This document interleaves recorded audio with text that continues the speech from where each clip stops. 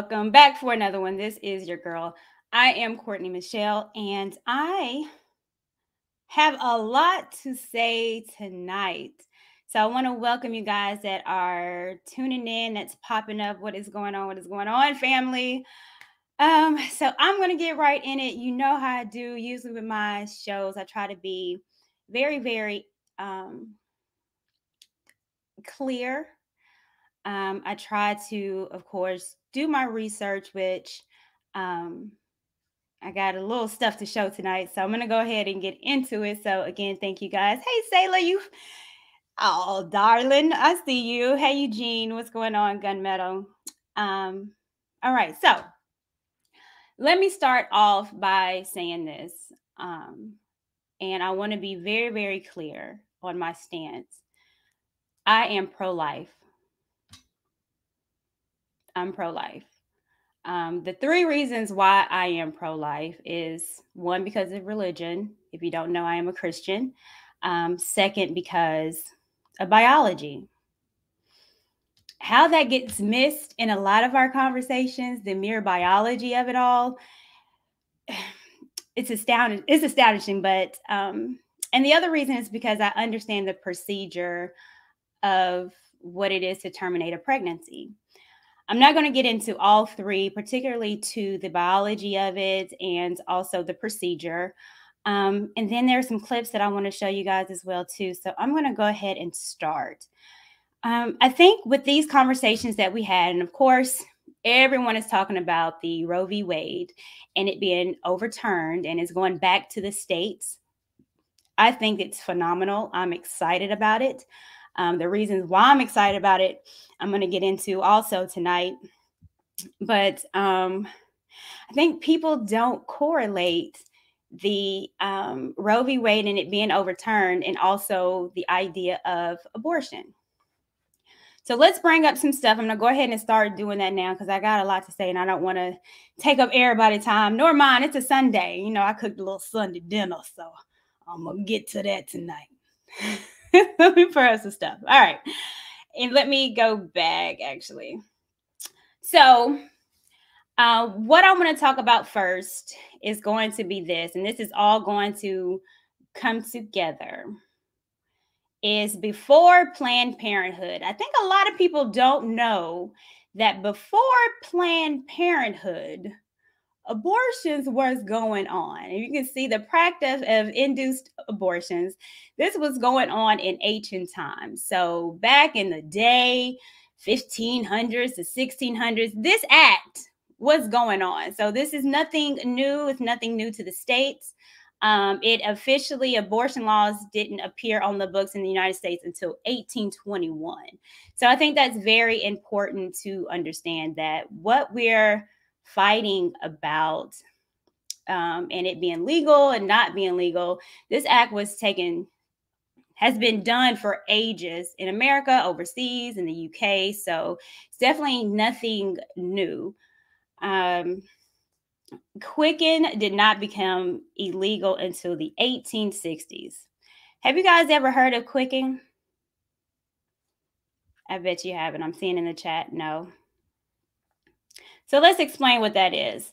Quicken is referred to when the fetus begins to move inside the womb, which was anywhere between 15 to 20 weeks into pregnancy. This was when an infant uh, took on a soul as it was believed. So in the 1800s, there were laws because they had an idea that the baby was a baby when the mother could feel it inside of her belly.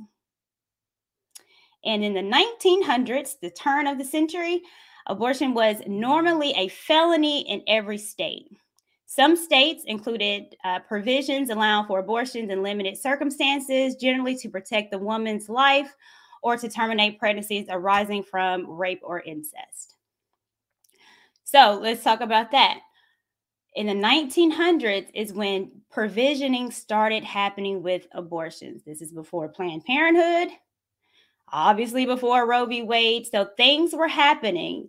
And then people started thinking, hey, let's start doing provisions because now we're understanding that maybe it is a baby when the mother can feel it.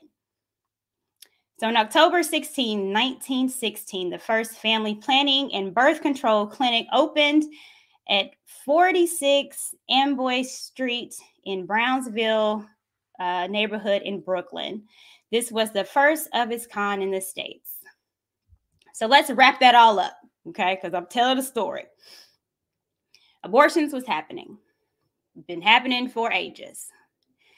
Then the government kind of started getting into it and wanted to do provisions over it because they started figuring out that, hey, that baby, it is a baby once the mother starts feeling it. So once the mother started feeling, they started to say, hey, well, between 15 and 20 weeks, we want to try to protect what's inside the mother's belly.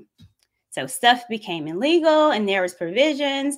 And then here we go. And starting in 1916 in Brownsville, if you already know, that's in Harlem, I believe. So in the black neighborhood, um, is where we started popping up a lot of stuff for parenting. So if you didn't want to, these provisions was getting you upset. So we had the idea, or someone had the idea to, in a Black neighborhood in 1916, let's start putting different things in these areas to prevent pregnancies. That's Brooklyn. Yep, Harlem. Well, yeah, I'm in Nashville, so go figure. So I wonder who in 1916 who put the first place that we wanted to quote unquote planned pregnancies.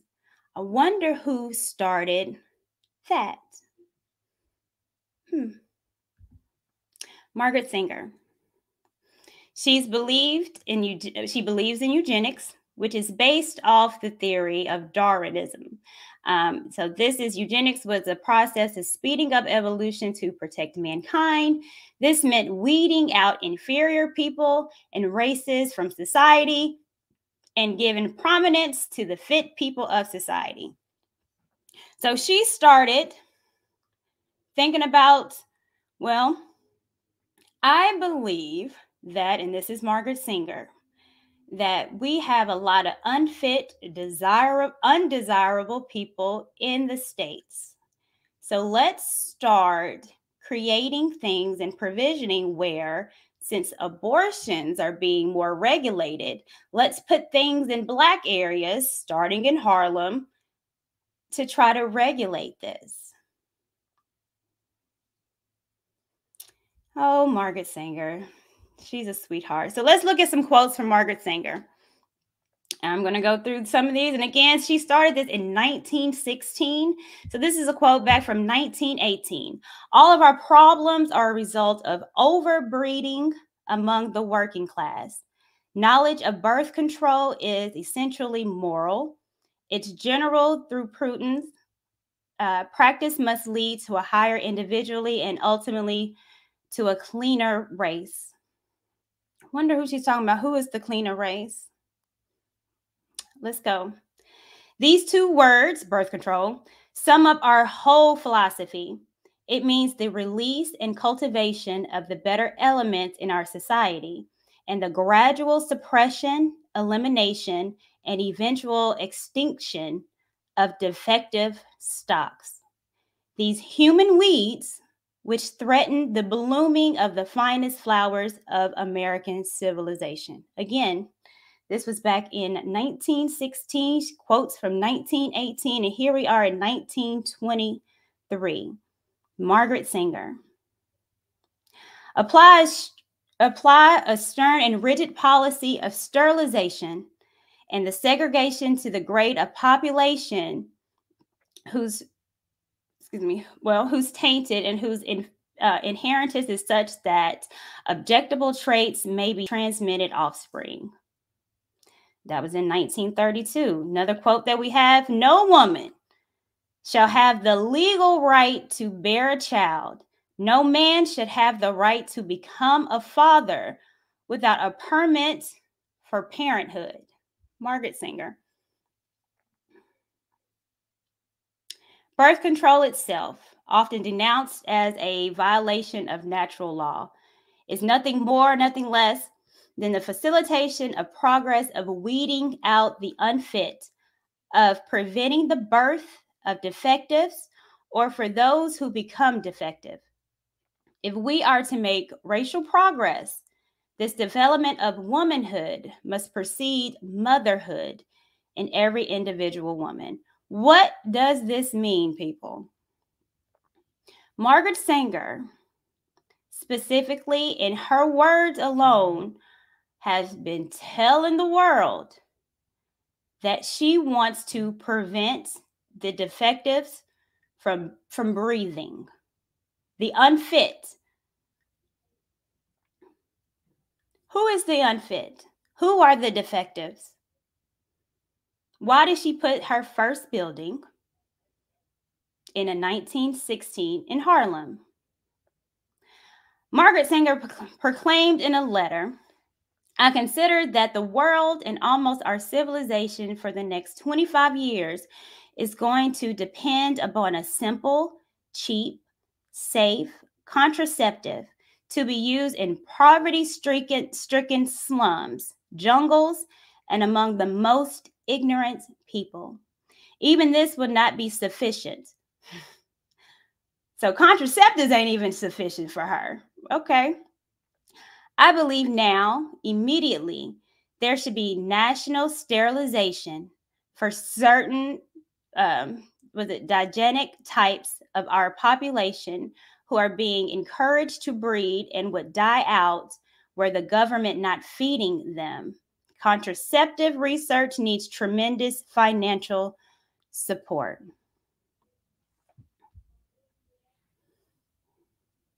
So, Margaret Sanger was a eugenics.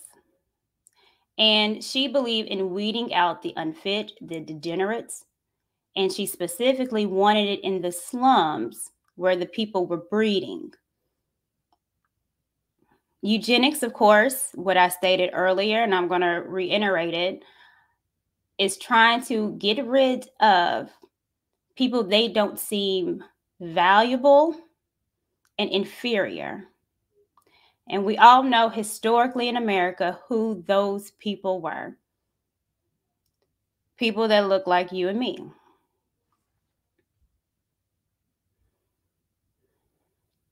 Margaret Sanger also created the Negro Project. Now, this is back in 1939. And all this stuff is available. I don't know why some of us don't research a little bit more about who Margaret Sanger is because she's definitely important on this reversal um, of Roe v. Wade. But alongside with Black leaders, of course, we got our good man, W.E.B. Du Bois. Y'all know that he believed in the talented 10th, so I'm not really surprised. Um, but this was to bring access to birth control to Black communities. Sanger noted that their primary responsibility would be to tour the South, dispelling miscon- uh, misconceptions about birth control and promoting the use of future clinical resources. Being aware that the general disgust that existed between Black patients and white doctors, Sanger believed that their involvement and outreach would be instrumental in ensuring continued use of clinical resources. According to Sanger, then only after a successful educational campaign would Black operated birth control birth control clinics be established and open for use. So she decided to use our Black leaders in 1939 to convince Black people that we should have these in our communities and how helpful it would be to us. Because she knew that Black people was very distrust, they did not didn't trust the government. Clear reasons why back then didn't trust white doctors. Clear reasons on why. So she had the bright idea to enlist other Black people to help with our demise. Smart lady she was. Huh. However, there was a note that she wrote to one of the doctors back um, in that time as well. Sanger wrote a letter to Dr. C.J. Gamble about the Black community. She predicted that the most successful educational approach to the Negro is through a religious appeal. We do not want the word to go out that we want to exterminate the Negro population. And the minister is the man who can straighten out that idea if it ever occurs to any of their rebellious members. She wrote a note, and the note is legit. You can pull it up to a doctor she doesn't want the world to know and the word to get out that she wants to exterminate Black people. And the tool to use that would be through the Black church. Man, that sounds eerily familiar from back then. You remember um, during slavery in the States, and that good old Nat Turner was a, a minister, and slave owners used him used the black church to keep us enslaved. So now Margaret Sanger is using the church to to to kill us. Good thing for Nat though, he he started reading and understood what was going on. That's why he rebelled. And I'm trying to figure out when are we going to start rebelling because this is all in plain sight. Margaret Sanger. Other stuff about her. Of course, you see her talking and having rallies for the KKK. this Margaret Sanger. She incorporated her businesses that she had, American Birth Control League and the Birth Control Clinical Research Bureau, both organizations she found, and those two merged to become Planned Parenthood in 1942. Planned Parenthood is Margaret Sanger's brainchild and it is her baby. Interesting note, I just put this just random because I had no idea either, but Planned Parenthood was also the catalyst that started birth control, the contraceptives, and it started with Planned Parenthood awarded um, small grants to conduct research into birth control pill in 1948. The first large scale human trial of birth control pill was carried out where? Wasn't, wasn't with the white people. You know, they wasn't going to research on them. It was done in Puerto Rico. More brown people. The testing was conducted in, in, in Puerto Rican women, and this was done informal and it wasn't done with their consent. They were told only that the drug prevented pregnancies, not that the drug was experimental or that they might experience potential dangerous side effects. Does this not remind you of the jab and where they wanted to conduct things around Black people, brown people? So they did, oh, good old Margaret Sanger, birth control the research on it, the clinical things that they did to Puerto Rican women that they used. And God knows the effect on that. I'm going to have to research that because I'm pretty sure the effect of it. But these are stuff that we don't talk about. So, Planned Parenthood, again, founded by Margaret Sanger. We already figured out that she's a eugenist. We already figured out that her goal was to exterminate the Negro.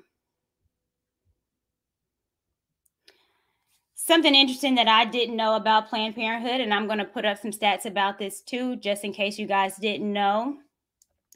Uh, new research from the Life Issue Institute confirmed yet again Planned Parenthood is targeting the minority mothers and unborn babies for abortions.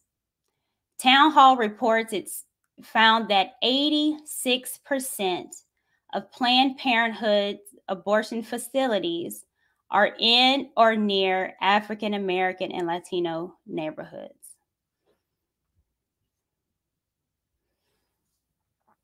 Well, her first one that she started back in 1916 was in Harlem. So, what would make you think that her brainchild of Planned Parenthood would not continuously be in Black areas? And why would it be in Black areas? Mostly in walking distance of a project.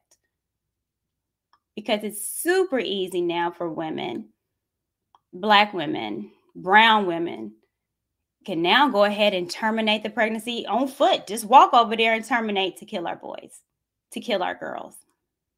And yes, I'm saying kill because that's what it is. And we're going to talk about that because, again, biology, I think, is lost on a lot of people. Some Planned Parenthood abortion stats. Planned Parenthood commits about 40% of the abortions in the United States. Their annual abortion count is up to over 354,000K and growing. 96.9% of pregnant women who seek help at Planned Parenthood have abortions. So, pregnant women aren't going over there to get help. They're not getting referrals. They're not getting sonograms.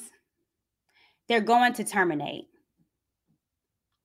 According to the CDC, 38% of abortions are done in non Hispanic Black mothers. So if you break it down, as an estimate 134,000 a year. That's per day 369 per hour is 15. Per hour 15 babies are getting terminated, black babies a day. So you want to talk about the stuff going on in Chicago, stuff going on in the hood, and we're not talking about right on every single corner in a black area there's a planned parenthood that are taking our babies away. 15 per hour and ain't nobody gonna say nothing about it these future doctors lawyers mothers daddies community 15 an hour and no one wanted to say anything about it and some of y'all mad about the reversal of, of Roe v. Wade, y'all upset?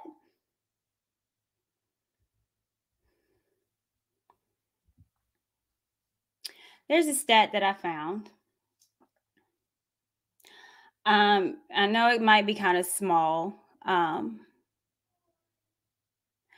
but this shows that from last year, the annual changes of our birth rate And if you can see what we annually always usually do, and I'm focused on my black folks, and if you see the negative, the annual change, we are down. We're not procreating anymore. Our birth rate are completely down. How are we going to have a community when there's nobody being born? And yeah, we have our problems, and we know we do. We talk about that on a daily basis. But for me, there's no community if we're not if we're not reproducing. Reproducing, I've always said should be with mommy and daddy. When are we going to create mommy and daddy? And a lot of people get on here and talk and all these black women having all these baby by Pookie and Ray Ray. Let me be very, very clear. 40% of black women do not have children. From that stat that I just showed, birth rates are down and has been down for over 40 years. So the realistically, we're not having children. We're not creating. In New York alone, more babies are getting black babies are getting aborted than the whole damn population in New York. So we're not going to talk about that we are arguing and we're bickering, we're doing all this gender crap and not even thinking about our children and not thinking about our community. And for me, that issue is bigger than you calling me a baby mama, than you talking about weaves and acrylic nails. We don't have a community because we're killing our babies.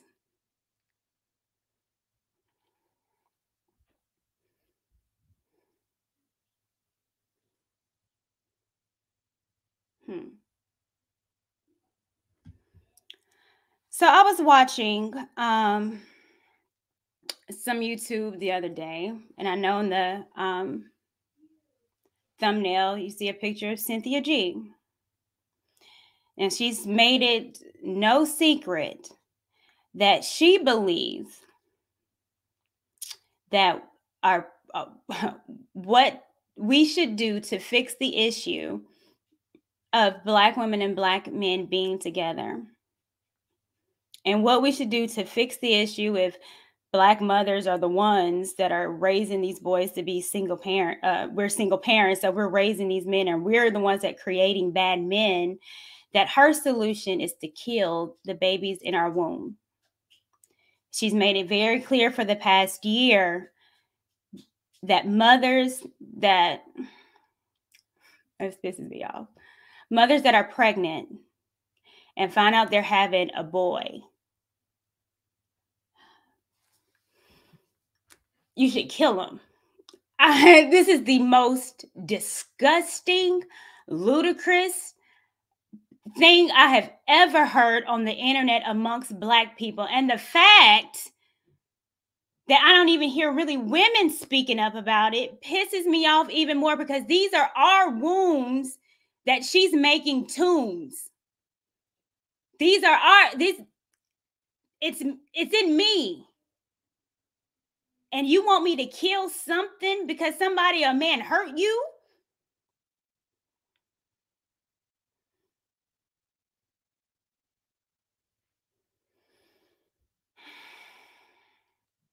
Oh, Lord be with me.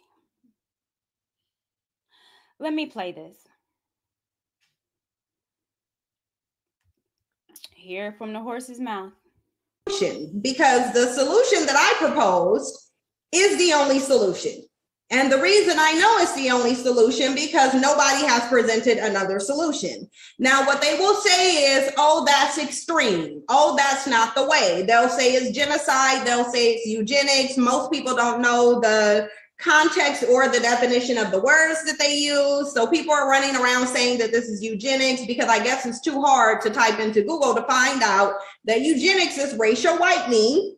That is what it's called it was practiced with two different races. We're going to get into that. You cannot have eugenics taking place with selective breeding within one's own race. But because there is an unwillingness to face reality, you have people who are acting accordingly and speaking accordingly. Most Black women, the solution that they want is for Black men to wake up discussing if you put in eugenics and racial whitening, what you're going to come up is with racial whitening because that is what eugenics is. It is racial whitening. And I'm going to show you guys something to prove to you that eugenics is racial whitening. And normally, let me share the screen really quickly because normally I wouldn't use Wikipedia as a source, but I'm going to tell you why I'm using them as a source. I'm using them as a source because of this reference list. This is why I'm using Wikipedia as a source because of all of these references down here. This is why I'm using this page, by the way, because references, they have 15 different references here. And if you click on the hyperlinks, they will take you to the information that solution because the solution so we heard her solution. Her solution is pretty much abort your baby. But let me tell you the ignorance that i heard. And this is some people okay. And this is our fault. These are people that listen to all these folks and won't do your own research to make sure that these people that have platforms are correct. The most idiotic, dumbest, try not to cuss. Okay, let's not cuss. All right. This lady had the audacity to say you eugenics is just um what she called it racial I'll put it up because I have it. Racial whitening. This is what this woman said. Eugenics is just racial whitening. And you can see this was done back in, in Brazil. What racial whitening is, is to alleviate the Negro. They believe in procreating with white people to whiten uh, their race. They felt that the Aryan race were superior. And so, in order um, to eliminate, eliminate the Negro race, they will procreate with white people. Racial whitening, yes. I can agree that is a part of eugenics. But is that all eugenics is? No. And a quick Google search, madam, will tell you that that's not all eugenics is. Like, what are we, what is, uh, why do we let people have a, I mean, why do we let people have a platform to spew hate, to spew murder, and to spew lies and it doesn't get checked. There was not a one person in that chat, and it was thousands of women. Yeah, that's right. It ain't eugenics. Yeah, that's right. Yeah, that's right. All a bunch of wrong, loud, wrong broads. The definition of eugenics the study of or belief in the possibility of improving the qualities of the human species or a human population, especially by such means as discouraging reproduction by persons having genetic defects or presumed to be inheritable undesirable traits. That's negative eugenics, and there's a negative and a positive eugenics or encouraging reproduction by persons presumed to have inheritable desirability traits, desirable traits. So the racial whitening would be eugenics, but that's a positive eugenics. But there's also a negative eugenics. You want to know what the negative eugenics are? I know you do. Eugenic policies have been conceptually divided into two categories positive, and that's the ones that I just told you about. And then there's negative. Negative eugenics aim to eliminate through sterilization. We've already said that before with Margaret Sanger or segregation, Margaret Sanger. Those deemed physically, mentally, or morally undesirable. This includes abortions, sterilization, and other me- methods of family planning. What are we talking? We just let people say whatever and it doesn't get unchecked. This lady is lying to her. She her subscribe uh, over a hundred thousand people calling herself. No, I'm not a eugenics because all eugenics is is racially whitening, and I'm not saying that. Black men are saying it. That's why they're going to Becky and Marceau. No, you're just as worse as Margaret Sanger. You are telling women to abort their boys. If we don't have any black boys, madam, by deeming and by aborting them, that's eugenics. Let's pull the definition up again because I don't, I don't, for the slow ones in the back. The study of or belief in the possibility of improving the qualities of human species or a human population. So you think that because you don't deem black men good or valuable, which Margaret Sanger, and for years we've been two thirds of human beings because they didn't see black people valuable either. And that's why it's so easy to put Planned Parenthoods in, in black areas because they don't care about us. They want us extinct. And your resolve because of your man issues is to terminate black babies, black boy babies. How is that any different from Margaret Sanger? The unfit, the undesirable. It's the exact same thing. I don't know if people just get on here and didn't even couldn't pack. Okay, um, I'm not gonna joke because I promise you, I think people just get their GED on the back of an ice cream truck and then get on here and spew hate and think that because they say it loud and matter of factly that it's right and it's absolutely wrong. She can't even tell you the correct definition because she did not do her research and it's only a Google search away.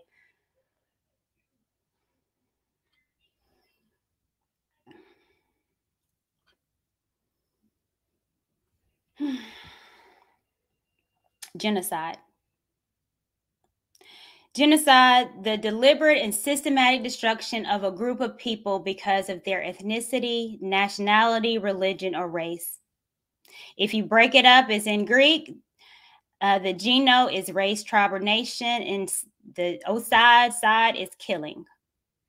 It's the killing of a race, tribe, or nation. If you, if you, if you terminate our black boys, how are we going to create a nation of black people? Madam, that is genocide.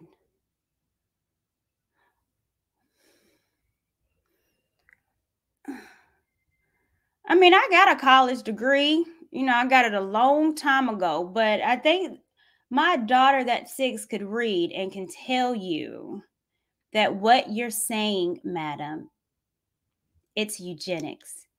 You, what you say, is helping in the genocide of our community. You are no better than Margaret Sanger, and it's pathetic.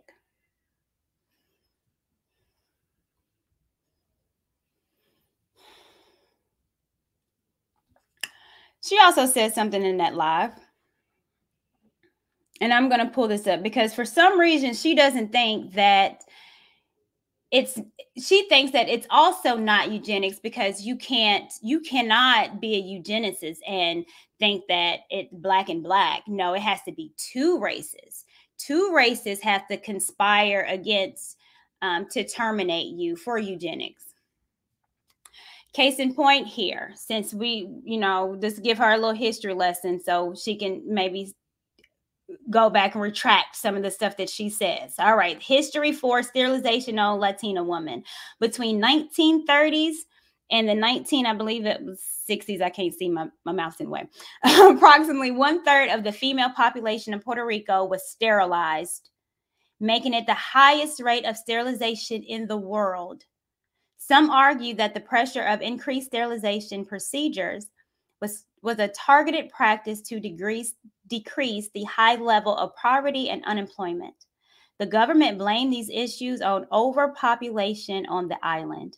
The legalization of contraceptions in Puerto Rico and the Puerto Rican government passage of a law allowing sterilization to be conducted at the discretion of a eugenics board Bo- both occurred in, uh, occurred in 1937.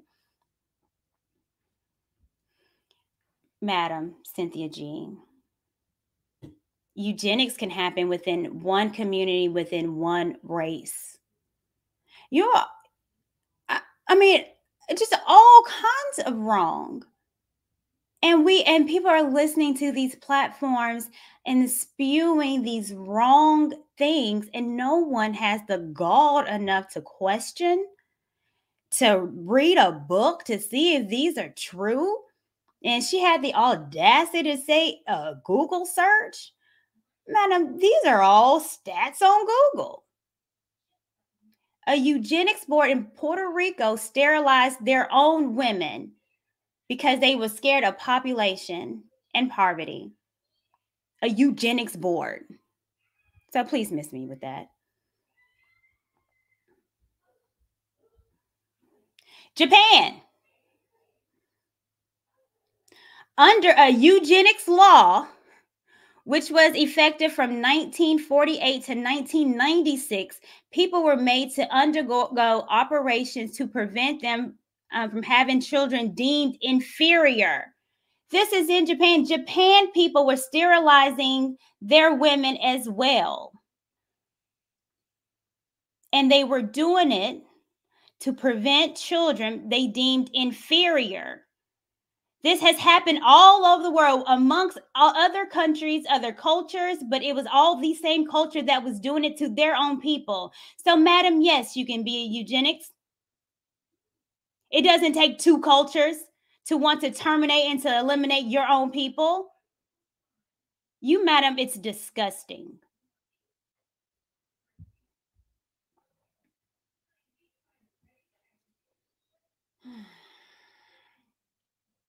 Yeah, I apologize.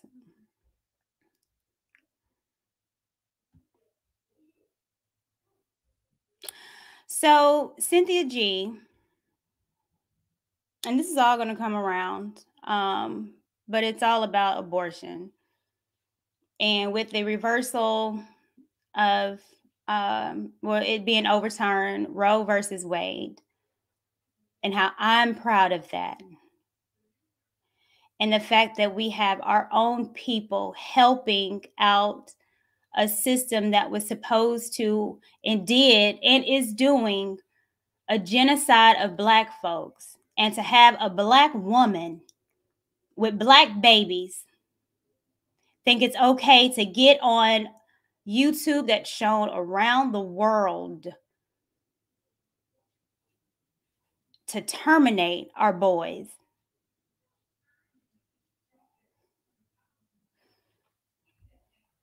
So how when do we find out if we're having a boy? And no one ain't nobody gonna ask her that? No, okay, that's fine. if you have, uh, well, these are different te- tests that you can take, but in general, ultrasounds may reveal the sex organs by 14 weeks, but they aren't considered fully accurate until 18 weeks. So, Cynthia, women don't know if they're having a little boy or a little girl between 14 weeks and 18 weeks. So you're telling women to wait roughly three three months to be three months pregnant and then have an abortion? Three months pregnant? And then if it's a boy, have a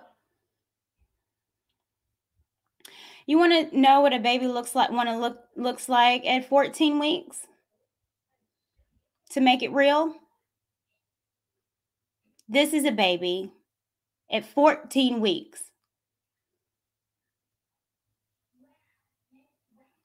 And you are telling Black women to murder their baby that looks like a baby.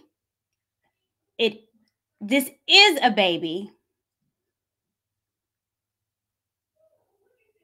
At 14 weeks, this is what your child looks like. She don't know what the picture. She got kids. I know she's seen sonograms.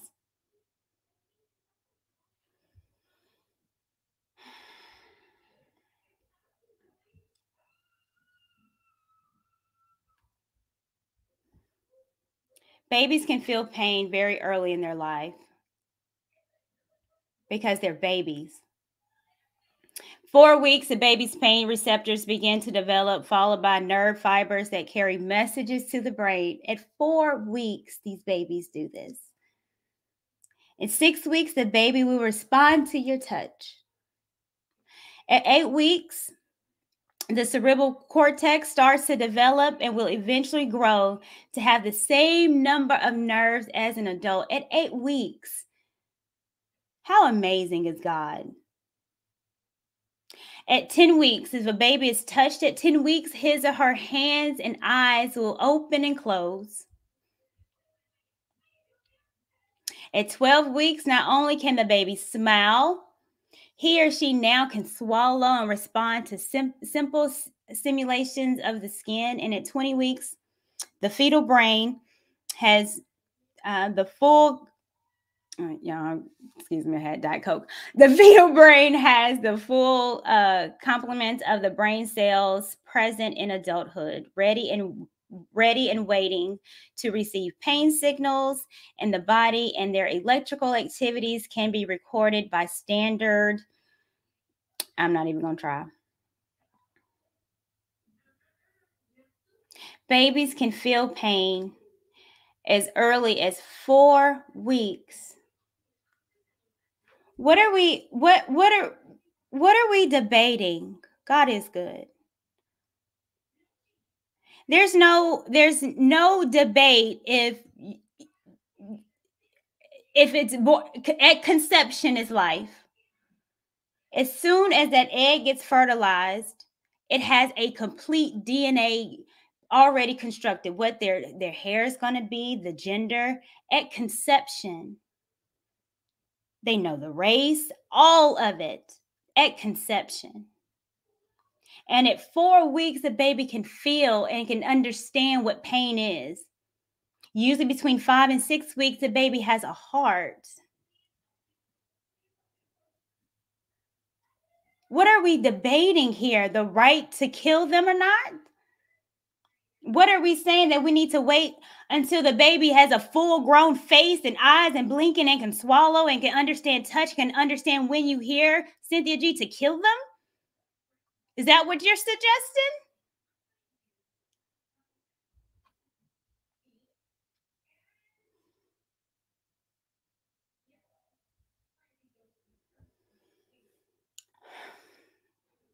I'm going to go there. types of abortion. In 2017, about 39% of abortions were conducted with pills or medication. These can generally be taken up to 10 weeks after the first day of your last period.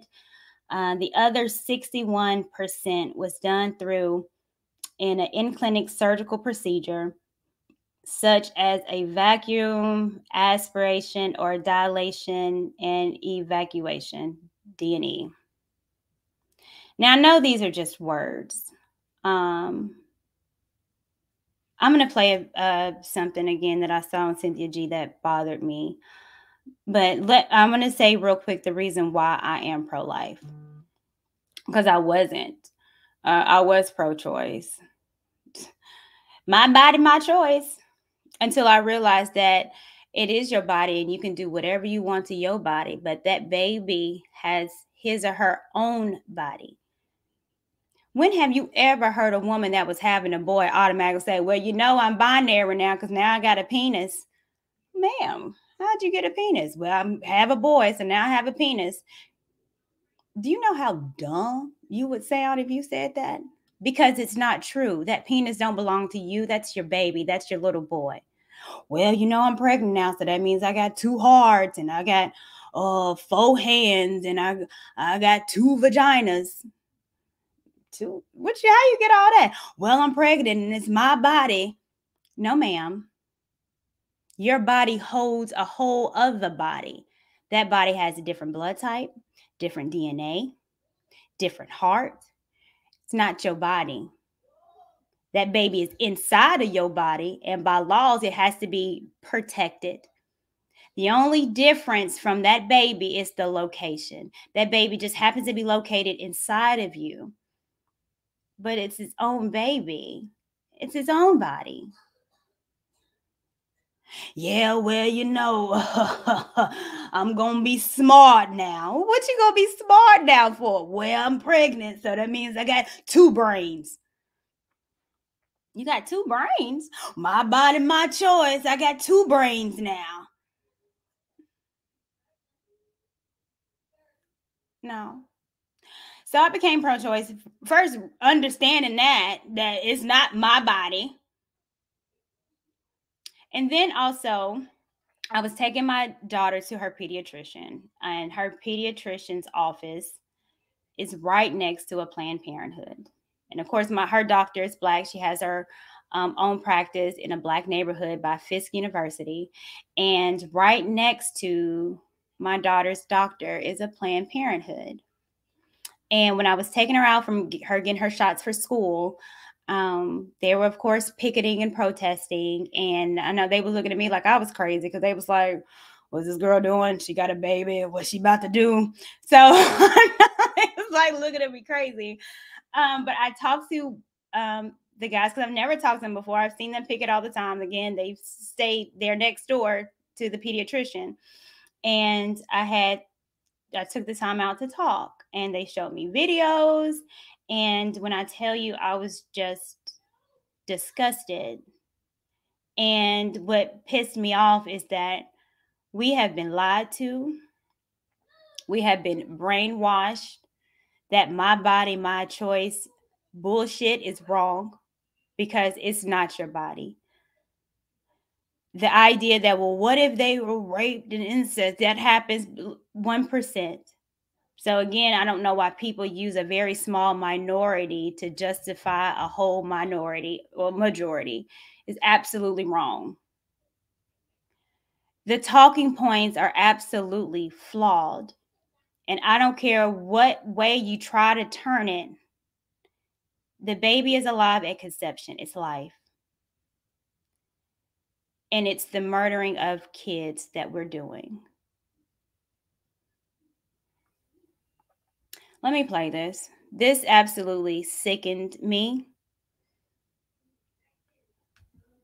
To, to that procreate with black men, which my son is a black male, to to go and abort their black boys is absolutely ludicrous because if no, you have not. ever had to terminate your pregnancy which i have because i'm disabled and it was the most gut-wrenching thing i've ever gone through you don't know what that feels like and what it does to a person. So for you to go through and spread to the masses how does it feel to be left a single mother where the man tells you i'm not going to raise my child at all and you got to take responsibility? How gut-wrenching i am a single mother okay? and i am raising my son alone, and, and I'm a single mother because my son's father was murdered. Okay, so I do know what it is to be a single mother and to raise my son alone.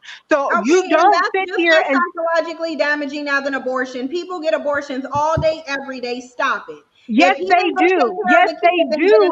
Yes, they do have Black abortions every day and all day. And if you've Black never gone through it, you don't know what it's like to go through and have that and, and to go through the and trauma because it's traumatic. Woman. And you can't speak for every woman. It's not traumatic for every And neither can it's you. Not. Have you had one? I don't need I don't need to have one to know that it's not traumatic for every woman. It's not. Well, if you've never gone through it, then don't speak on something you can't attest no, actually, to. I can speak on it. I worked at an abortion clinic where then you should know. if you worked at an abortion clinic then you should know. When you walk up those doors you've got people with signs and everything else protesting and they don't even know why you're there okay? It is a very traumatic experience no, and it is not, nothing not that you should promote it should be somebody else's personal experience if they want to go through it. But for you to sit up there and to tell people when you've not walked a day in their shoes that they should sit up there and throw away their kids when you have not gone through it yourself is the most hypocrite thing that I have ever heard in my no, life. No, it's not. It no, is. It's not. No, it's it not. Telling a woman that she needs to be a single mother and go through the hardship of being a single mother in poverty, you're wrong for telling them Who's that. Say that they would be in poverty? what's best for them. You're talking about two things that I have experienced myself: being a single mother of a black male and have terminated my pregnancy. I have done both. So you're speaking to somebody who has raised her child alone and is going to school to be a doctor Okay, so to tell me my son and is it would have been much easier if you had gotten an abortion, and if it would have been much easier to do that if you had gotten an abortion. Keep it a buck. You will not what, have what would have been more easier if I would have gotten an abortion? Terminated your pregnancy. Stop it. I said.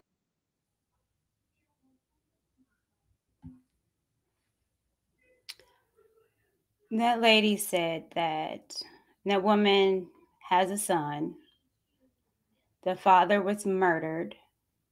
And she said, Your life would have been just easier if you would have killed him, killed your son.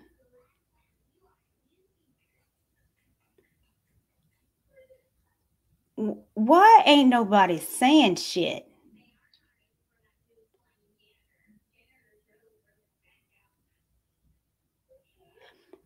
This broad had the audacity again to say that it's no trauma when a woman has an abortion? How do you know? You have you ever had one? No, I didn't, but I can tell you that it hasn't.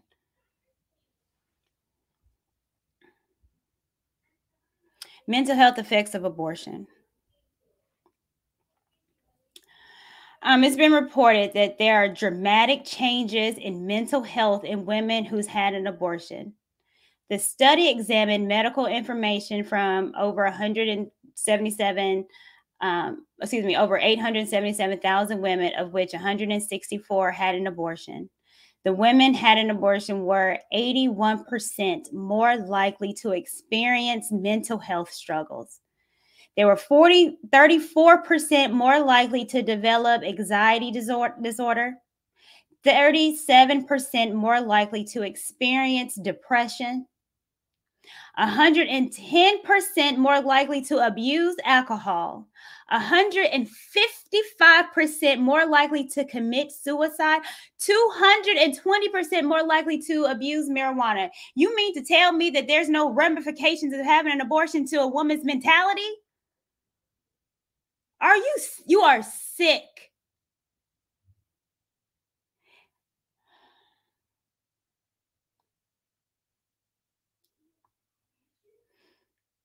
And the idea that we're not even talking about the mental effects of women. The idea that women are are silently struggling.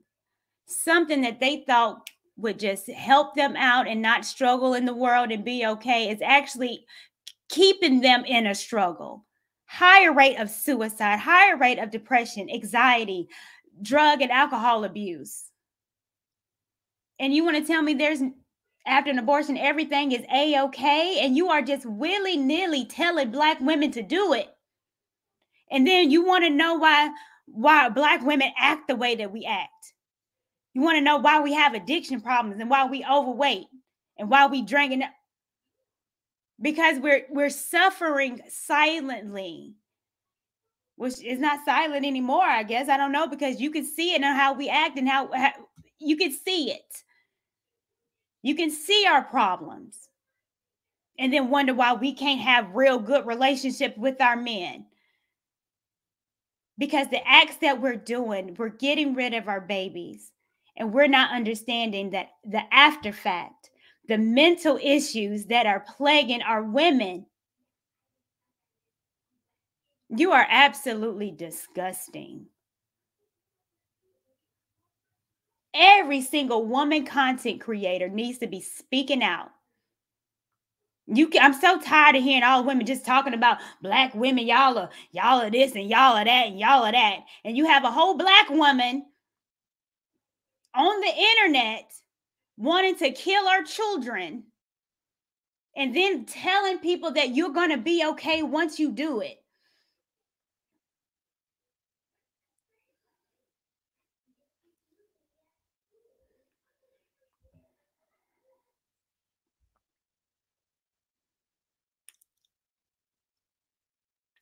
Do women who have an abortion risk their mental health? The provocative new study shows that women who have an abortion face an increased risk of mental health problems, including substance abuse, anxiety, and depression. Results indicate quite consistently that abortion is associated with moderate to high increased risk of psychological problems subsequent to the procedure. The authors wrote in the study.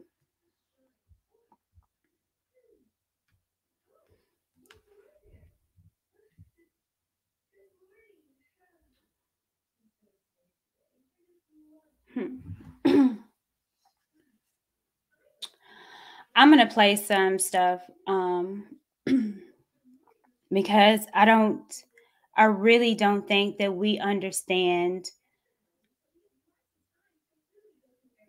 how disgusting abortion is.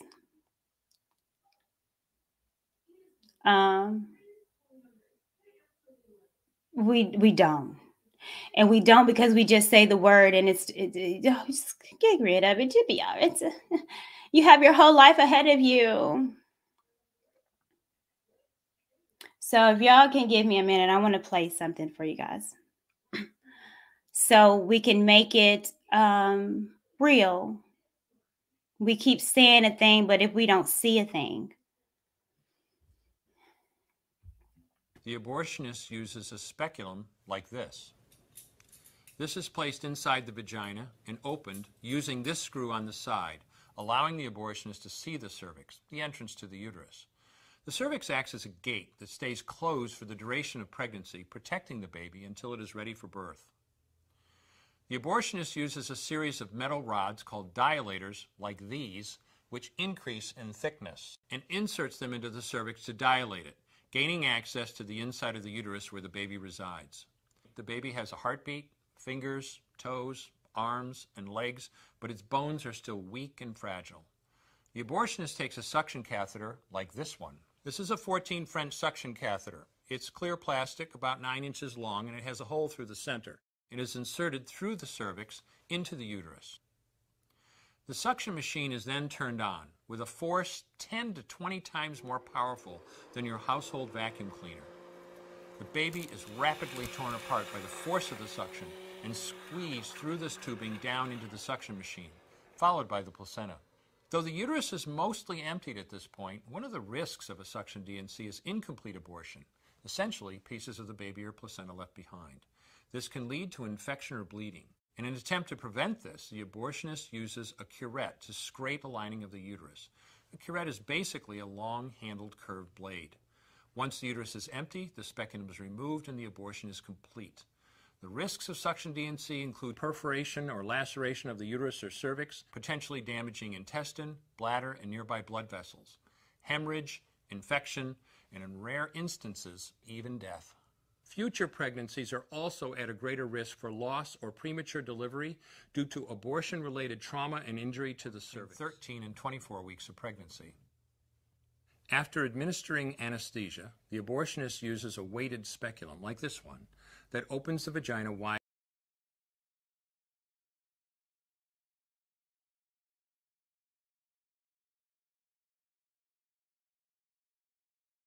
Let me unmute. I know it's graphic, but I I do not care. You have to see a thing. People are so concerned about well, why why did they overturn it and what that what is that does it really mean anything for black folks? And what does it mean? What does it mean? I don't care. If you don't know what happens when a woman goes to an abortion clinic then you don't know the depths of it. It's horrific. Now that was in the first trimester. Um there's a second one that I had on the second trimester, but I want to do the third trimester.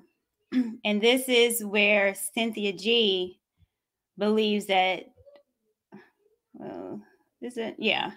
Well, it doesn't matter. She said get rid of them. So this is what she wants our black women. She's for black women, right? Okay, let's okay. So this is what she wants you to go through. Sidebar. why why does she never ask or say marry before you carry? How come that's never anything that she talks about? It's just kill them. No, no, because she says that they don't want to marry us. But they're because our marriage rates are, are low. Well, if we're acting like you, madam, I can definitely understand why they don't want to marry us.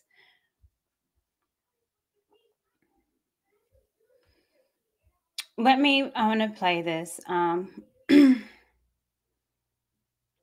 this was on this, uh, they have one for the second trimester, but for time's sake, I'm going to show the third trimester. Related. Because the baby is so large and developed, this procedure takes three or four days to complete.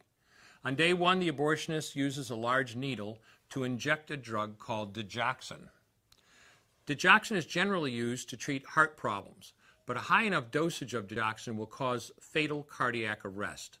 The abortionist inserts the needle with the digoxin through the woman's abdomen or through her vagina and into the baby, targeting either the head, torso, or heart. The baby will feel it. Babies at this stage feel pain. When the needle pierces the baby's body and the digoxin takes effect, the life of the baby will end. The abortionist then inserts multiple sticks of seaweed called laminaria into the woman's cervix. They will slowly open up the cervix for delivery of a stillborn baby. While the woman waits for the laminaria to dilate her cervix, she carries her dead baby inside of her for two to three days. On day two, the abortionist replaces the laminaria and may perform a second ultrasound to ensure the baby is dead. If the child is still alive, he administers another lethal dose of digoxin. The woman then goes back to where she is staying while her cervix continues to dilate. If she goes into labor and is unable to make it to the clinic in time, she will give birth at home or in a hotel. In this case, she may be advised to deliver her baby into a bathroom toilet. The abortionist then comes to remove the baby and clean up. If she can make it to the clinic, she will do so during her severest contractions and deliver her dead son or daughter. If the baby does not come out whole, Then the procedure becomes a D&E, a dilation and evacuation, and the abortionist uses clamps and forceps to dismember the baby, piece by piece. Once the placenta and all the body parts have been removed, the abortion is complete. Late term abortions have a high risk of hemorrhage, lacerations, and uterine perforations, as well as a risk of maternal death. Future pregnancies are also at a greater risk for loss or premature delivery 5 to 13 weeks of pregnancy.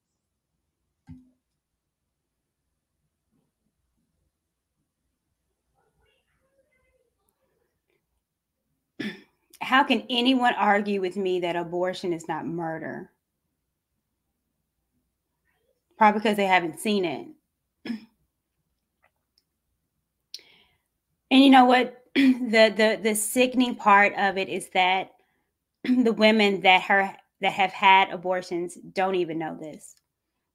Abortion clinics make it very, very um, a happy-go-lucky place. But people will tell you, and again, it's just a Google search away with women that are going into these facilities that they will not show you.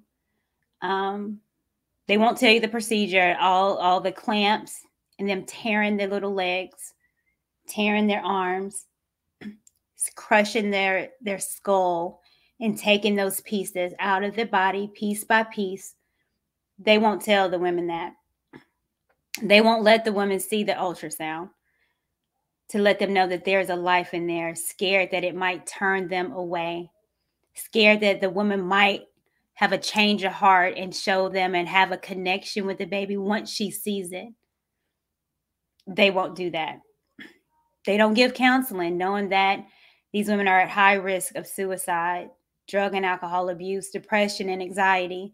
They don't give aftercare.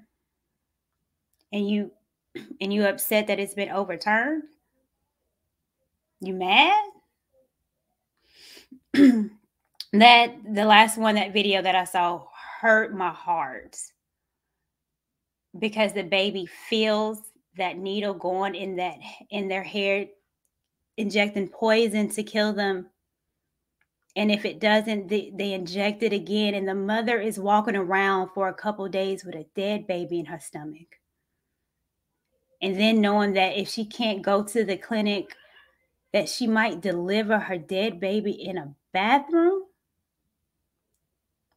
that spirit that soul that was curating in your tummy is left to be dumped in a toilet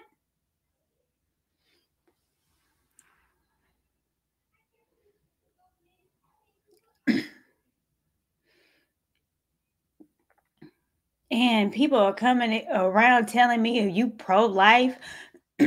are you going to adopt them? Are you going? They going? There's going to be such an influx in adoption agencies if these women don't have abortion. It's going to be all this going to want to shoulda couldas. The one thing for sure is that these abortion clinics are murdering our babies. This is a picture of an ultrasound of what we just saw um, of the baby getting injected and um, the doctor seeing if the baby has has died.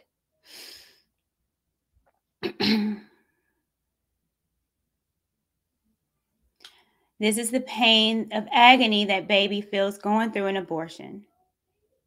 What about the baby?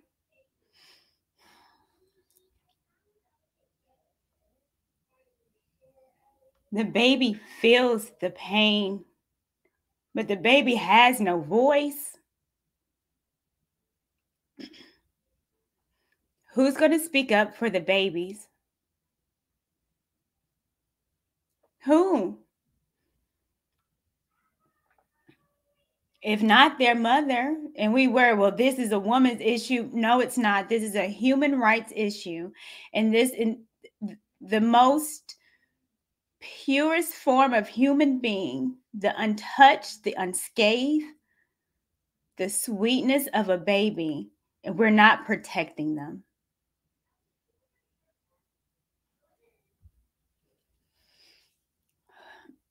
it's hard to watch and being that I'm a mother, it's very, very hard to watch. But if we don't know what's going on, and if you don't know what you're fighting for, and when I say I'm pro life, if you don't know what that means, and if you just think that we're fighting for a glop of cells, no, we're not.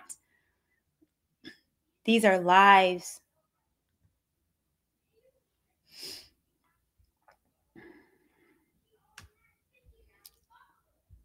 Let's see. So for the people that say, well, it's going to be such a, a whole lot of people that's going to be a, a in adoption and adoption. Hold on. I'm to drop the link. Just Bree, I know you wanted to come up and say something. I'm to drop you the link so you can call in, darling. Um, and a couple people can too. Um, I'll drop the link. so for those people that's it's going to be such an influx of people in adoption and adoption, and you're going to adopt them, you're going to adopt them. So among the women who uh, who seek an abortion but were denied, more than 90% choose to keep and raise the child rather than place them for adoption. Let me repeat that again for the people in the back. Among the women who seek an abortion but were denied, more than 90% choose to keep and raise their child rather than place them for adoption. So, this idea is that, oh, well, I hope you're going to raise them, Courtney. You're pro life. So, I hope you take yourself down and adopt all the babies you want to keep alive. 90 over 90% of women that can't have abortion decide to keep their baby and raise them. So miss me with that assumption because it's simply not true.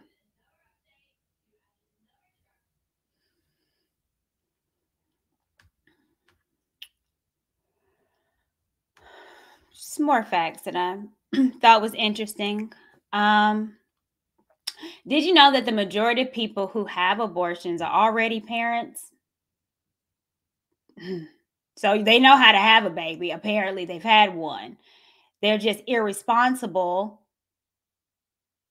and don't want to get on any kind of the 34 contraception. So this doesn't happen. They just don't want to do that. They don't want to spend $5 for a Trojan. They don't want to spend $40 for a plan B. They would prefer to spend two, $300 to murder. Okay. Of those who received an abortion, 60% had one or more previous children according to a 2019 data from the CDC. Just random facts for us to know to keep in our heads as well.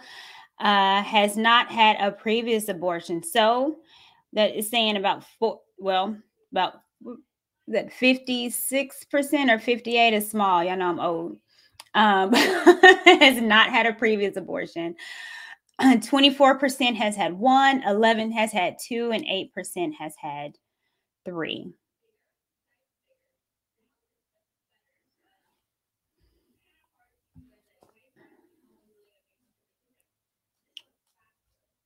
And um, so this is my fight.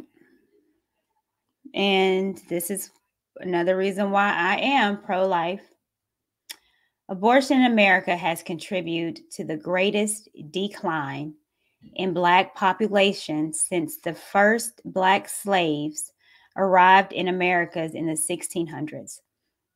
According to the U.S. Census data, there were 18, well, over 18 million Black American citizens in 1960.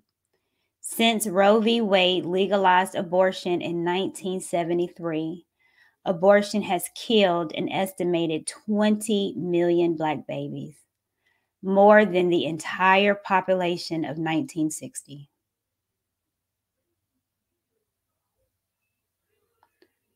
Twenty million of our babies are gone.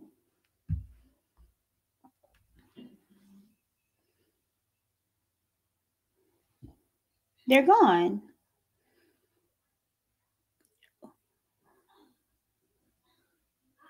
Our leaders, and you know, it's interesting because you can say, well, they probably, the parents didn't want them, and who knows what they could have been. You don't know. And there's no justification for murder. If that's the case, then just why don't you just go to the prison systems and wipe out the whole prison system? Because what they're unfit, they're degenerates. So get rid of them. We don't know what those 20 million, what that could have been definitely would have doubled our population. So while we keep screaming our voice don't have a chance and we're just 12% of the population, well, we could have been doubled and had more voting power, more economic power. We don't know because they didn't get a chance to to live out any kind of potential because we we decided to kill them.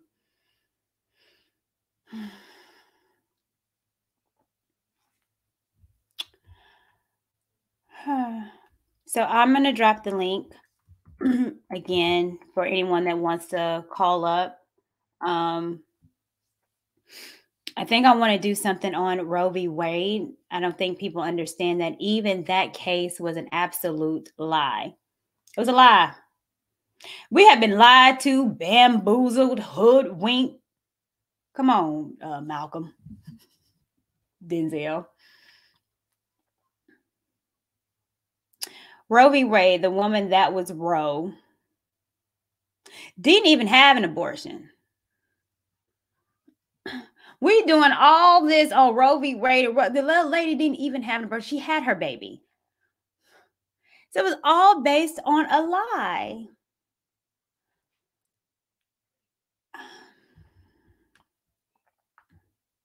Oh, Jess, I didn't see you here, darling. Hello, hello. Hi, Courtney. Thank you for having me on. I really enjoyed the channel. Thank you. You're it's kind of breaking up for me, just so say oh, something. Sorry. Is that okay now?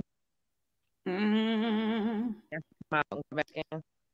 It's kind of like choppy, like. Uh, uh, uh, uh, uh. Okay, I'll go out and come back in. Okay, I'm gonna get Eugene. What's going on, you, Mr. Mr. Doctor Steele? Excuse me, I, am not gonna call you that. This is my doctor. What's going? How are you? Hey, I'm doing fine, and you? Oh, I'm doing well. This is kind of an emotional thing for me. Um, so, but I think we need to talk about it. Yeah, you know, I've watched so many Black women content creators talk about um, deletions and all that, and the irresponsibility of you know women and what you just showed me, it, it, it really shocks me. And I hope that all ones who decide to go with the deletion have watched this. Mm-hmm. Because because of their irresponsibility, their selfishness, um, their failure to tell the um, the man who they lay with to put on a condom, and by the way, I, men, I'm not letting you off the hook either because you should have worn a condom. Mm-hmm. Okay. Mm-hmm. But just because of all of this, you know, they feel like, you know, you know, uh deletion, that's the easy way out. That's what it feels. But you know, this is what they're facing. Mm-hmm. What you just what you just showed us. You know, they they don't seem to realize that. And maybe, and maybe there's a lot of them that go through it. And I've heard of this these cases. I heard that you know some of the ones who who had an abortion, you know, it it really messes it messed up their consciousness. It really did. Some, you know, felt, you know, really depressed about you know their decision because you know you know that person inside the body mm-hmm. will not have the opportunity to see what life looks like mm-hmm. to see what this earth look like i mean whether the mother takes care of them or put them up for adoption at least that that baby get to see life and when you see life i mean you have opportunity but you know the you know the one that that was just deleted won't have that chance to do it. Right. all because of their selfishness. Basically, I agree with you, um, Dr. Steele. Um, I think that a lot of people don't know exactly even what happens during the procedure. Um, and it's unfortunate as well because these places are not telling these women this. They don't tell them. And I've watched video after video of all when they, someone has it on the first trimester, second trimester, and third trimester. And it's a consistent, like it's because it sells. So Planned Parenthood would tell you, well, we only do 3% of abortions. Yeah, but in that 3%, this is a multi billion dollar company that you have, and it's based off of abortions. So their numbers are skewed, and that's a whole another for a conversation. But, um, you know, they're not telling because it's a sales job. And so, in order to get the sale, because you're just a number, these people don't care about you or your child to get the numbers, they're not going to be 100% honest with you. They're not going to show you exactly what happens during your during your procedure. They're not going to show you your ultrasound to show that there's a baby in there. They're not going to let you hear the heartbeat. Because if they do, this that mother might have a change of uh, change of thought Oh, it's a heart because then it becomes real. A lot of times when you're pregnant as a mother, I understand. You're just you don't you don't feel the kick. So and you can go by every day. You're not getting bigger. So you, the connection sometimes is not there at the beginning. But then once you start feeling a kick, and then once you see the ultrasounds and you see the baby face, and then you hear the heartbeat, and then like it took me a minute, and I was like, oh my God, I'm gonna be a mom. What? But but they won't tell you that and in essence for to get some money. And then when you see exactly what happens that they tear the limb limb by limb. And this is your child. So yeah it's Yeah. um yeah me watching those videos and th- those were the those were the pg videos. If I, if I gotta do another stream, no, no, no, okay. yeah now i mean you get to see you know what a procedure looks like. And you know it's it's disheartening. It is, you know what what what i just saw. Yeah. you know i want to mention you know two women who think this way. First roe. I've i've heard um i just recently heard something about roe now you now you confirmed that hmm Roe did not um uh delete any of her babies, did she? No, um, Lord, let me. I can't think of her name right now because it. Let me pull it up because you know Roe wasn't her real name in life. Um,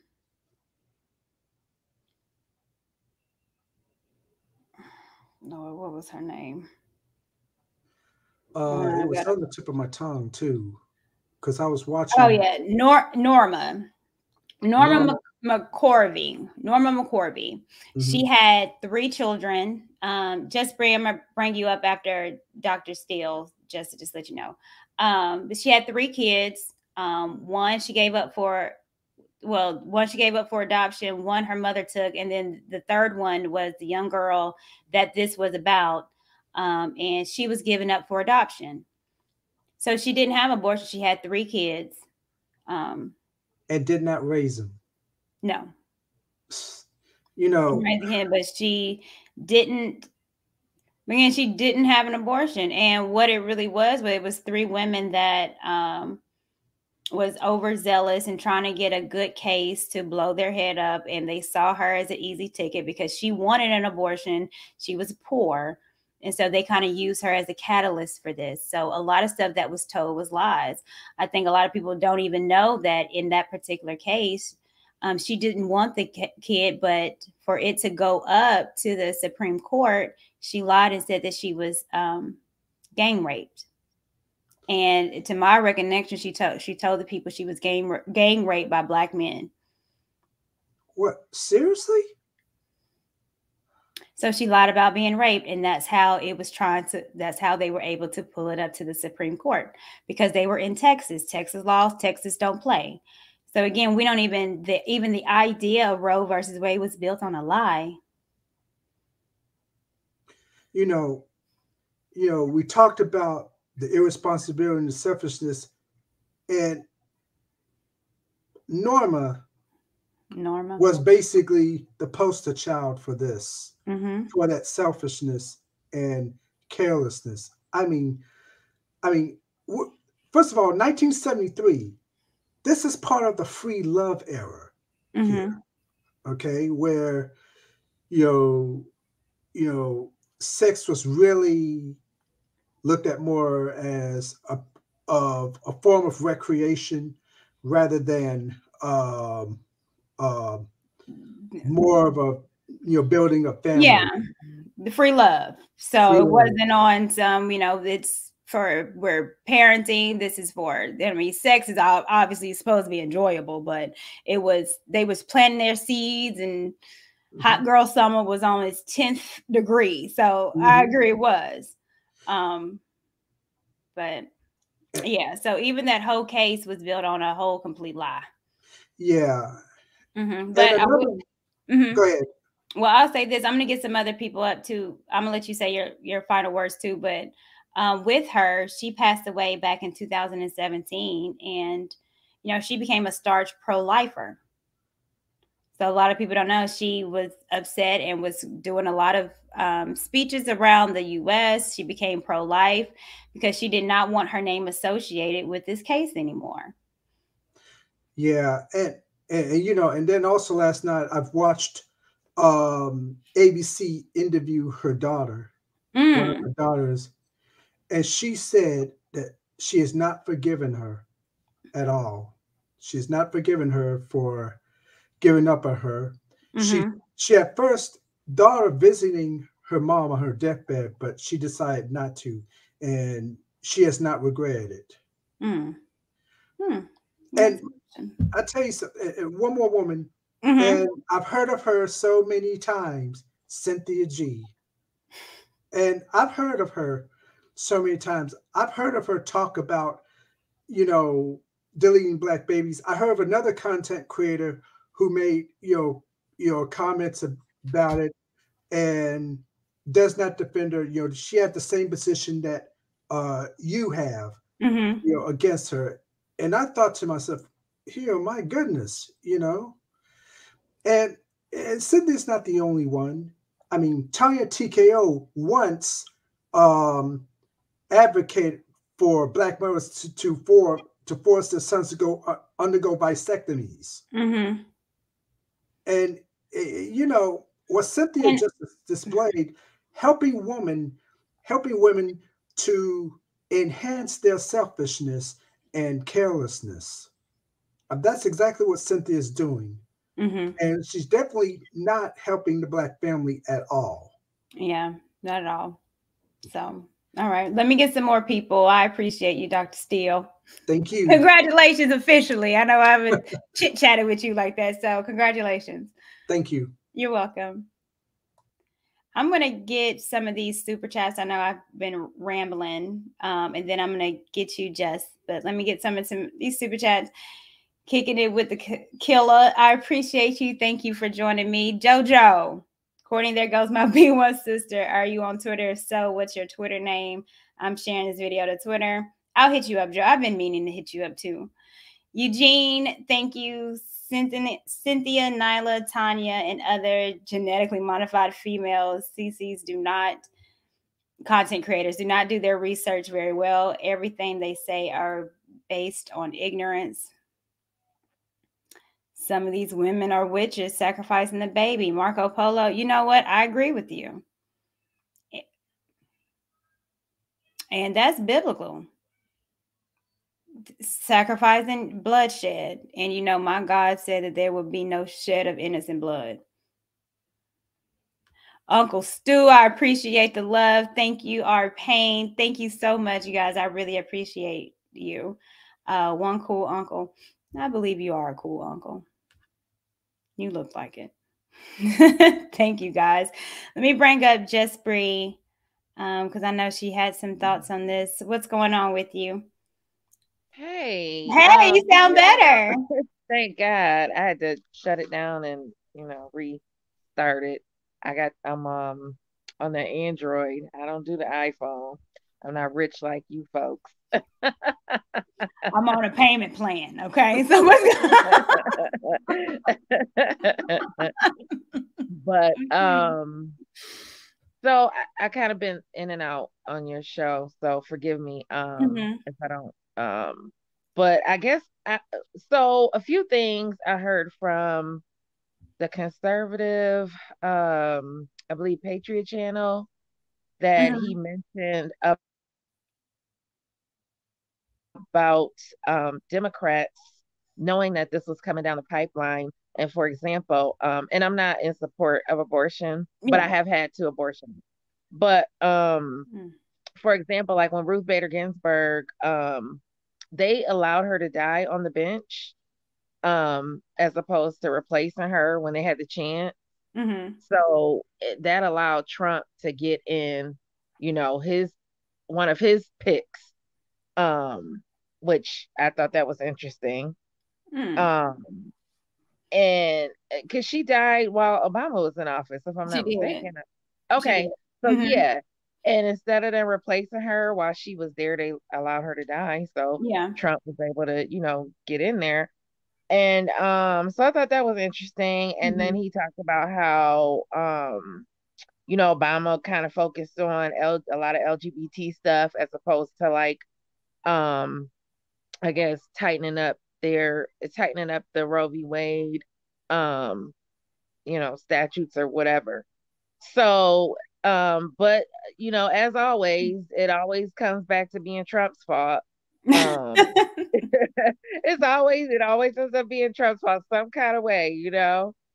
And yeah. I just find it funny that they're not taking responsibility. They also um he also brought up um something in reference to Mitch McConnell um blocking something. I can't remember exactly. I apologize.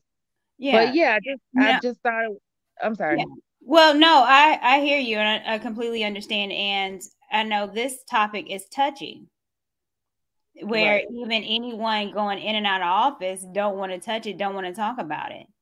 Um, except really Republicans. The Democrats well, go mm-hmm. ahead. No, I was just gonna say, you know, I wasn't um that um what you call um I was not that in tune with like politics um and I'm still not you know I'm still learning so I didn't you know when they mentioned that um you know abortion was constitutional and then a constitutional right and then someone else said it's not in the constitution and I had to think about it and I'm like well wait a minute no it's not a constitutional right so, you know, it just goes to show how informed mis- how misinformed people are, including myself. I've been, yeah. you know, over the years, but I'm trying to educate myself more and more, you know, um, because I mean, it's only 50 years old. Like this whole Roe v. Wade, Roe v. Wade thing has not been in place, um, you know, forever. And, and like I told my daughter, she's 25. I said, you know, we haven't always had the right to have an abortion and you know like so and, and people carry on as if it as though it's something that has just been you know a part of our american you know way i guess you would say mm-hmm. and i've also researched margaret sanger too i watch i don't know if you watched the mike, mike wallace interviews with her i have yeah okay yeah mm-hmm. they i kind of had to turn it off because after a while i you know, and I was reading com- some comments, and you know, somebody had mentioned, you know, if you know anything about, uh, well, you watched it, so I we I learned that um her mother passed away when she was young, um, or really young, mm-hmm. and she had a lot of trauma with that, and yes. you know, just her, uh, just a lot of stuff that personal stuff that she felt like, you know, she wanted to bring forth and things like that. So yeah, it's just a real interesting situation. I mean, you know, ultimately people are gonna have to stand before their God or well, before God and you know. But I I I do not um although I've had to I talked to Just Pearly, I don't know if you know who she is. Mm-hmm. And she was, you know, she was asking me some really some some kind of tough questions, you know, about my abortions. Um and like I said, I had two. And I'm not proud of that. Um, and I made a lot of mistakes, you know. And well, let me let me ask you because um, I think what doesn't get talked about is the after effect. Mm-hmm. Um, so before you, you answer that, the after effects of it, when you went to the abortion clinics, um, did they show you the procedure that was going to be done? No. And also, if I may add, um, um, I don't mean to impose uh, another um, YouTuber on your show, but I yeah, just say this, so this person asked me, do did they promote um do I feel like they promoted more to black people, like you know, promote abortions mm-hmm. to black people? And so after I thought I didn't think about this after I hung up, but I think I'm not sure that they necessarily promote it to black people, but I know that they're obviously they're in the hood, of course, so that is promotion technically. Mm-hmm. But when I went there, you know, to inquire and get the information and stuff, it's not like they say, well, you know, um, have you considered adoption? Um, they don't offer that alternative. You know, no. I would say that. They don't do um, it's referrals. And so they the question right. doing the referrals. So no, they don't do referrals. And again, it's because it's a sales job. Right. So you're just another number to increase their profit profitability. Excuse me. So it's just right. sales. So they're not going to do anything to deter you. So a referral right. is a determinant. You listening to the heartbeat, determinant. You seeing the ultrasound is a determinant. Them acting like it's easy breezy is a determinant. You not knowing what's happening to your body is a determinant. And right. for me, it's kind of um, I'm thinking as other things, the side effects is, you know, now black women we're having a hard time not necessarily getting pregnant, but we're dying when we're pregnant. We're, you know, having a baby is life or death for a lot of us. And I'm thinking, well, what has happened? What why is it? And I do believe that because of these procedures that are happening, that are scraping our uterus and scraping our, our, things out of our bodies, how in the world can we have a healthy child? Well, Courtney, I'll push back on that just a little bit, only because there are, and I'm not trying to be anecdotal, but mm-hmm. I know um, quite a few people, women, um, people with vaginas, no, women who have had multiple abortions and they get pregnant, you know, just like that. Um yeah. see, so, I know two I know two women that's passed away because of their abortion. Specifically because of their abortion? Mm-hmm.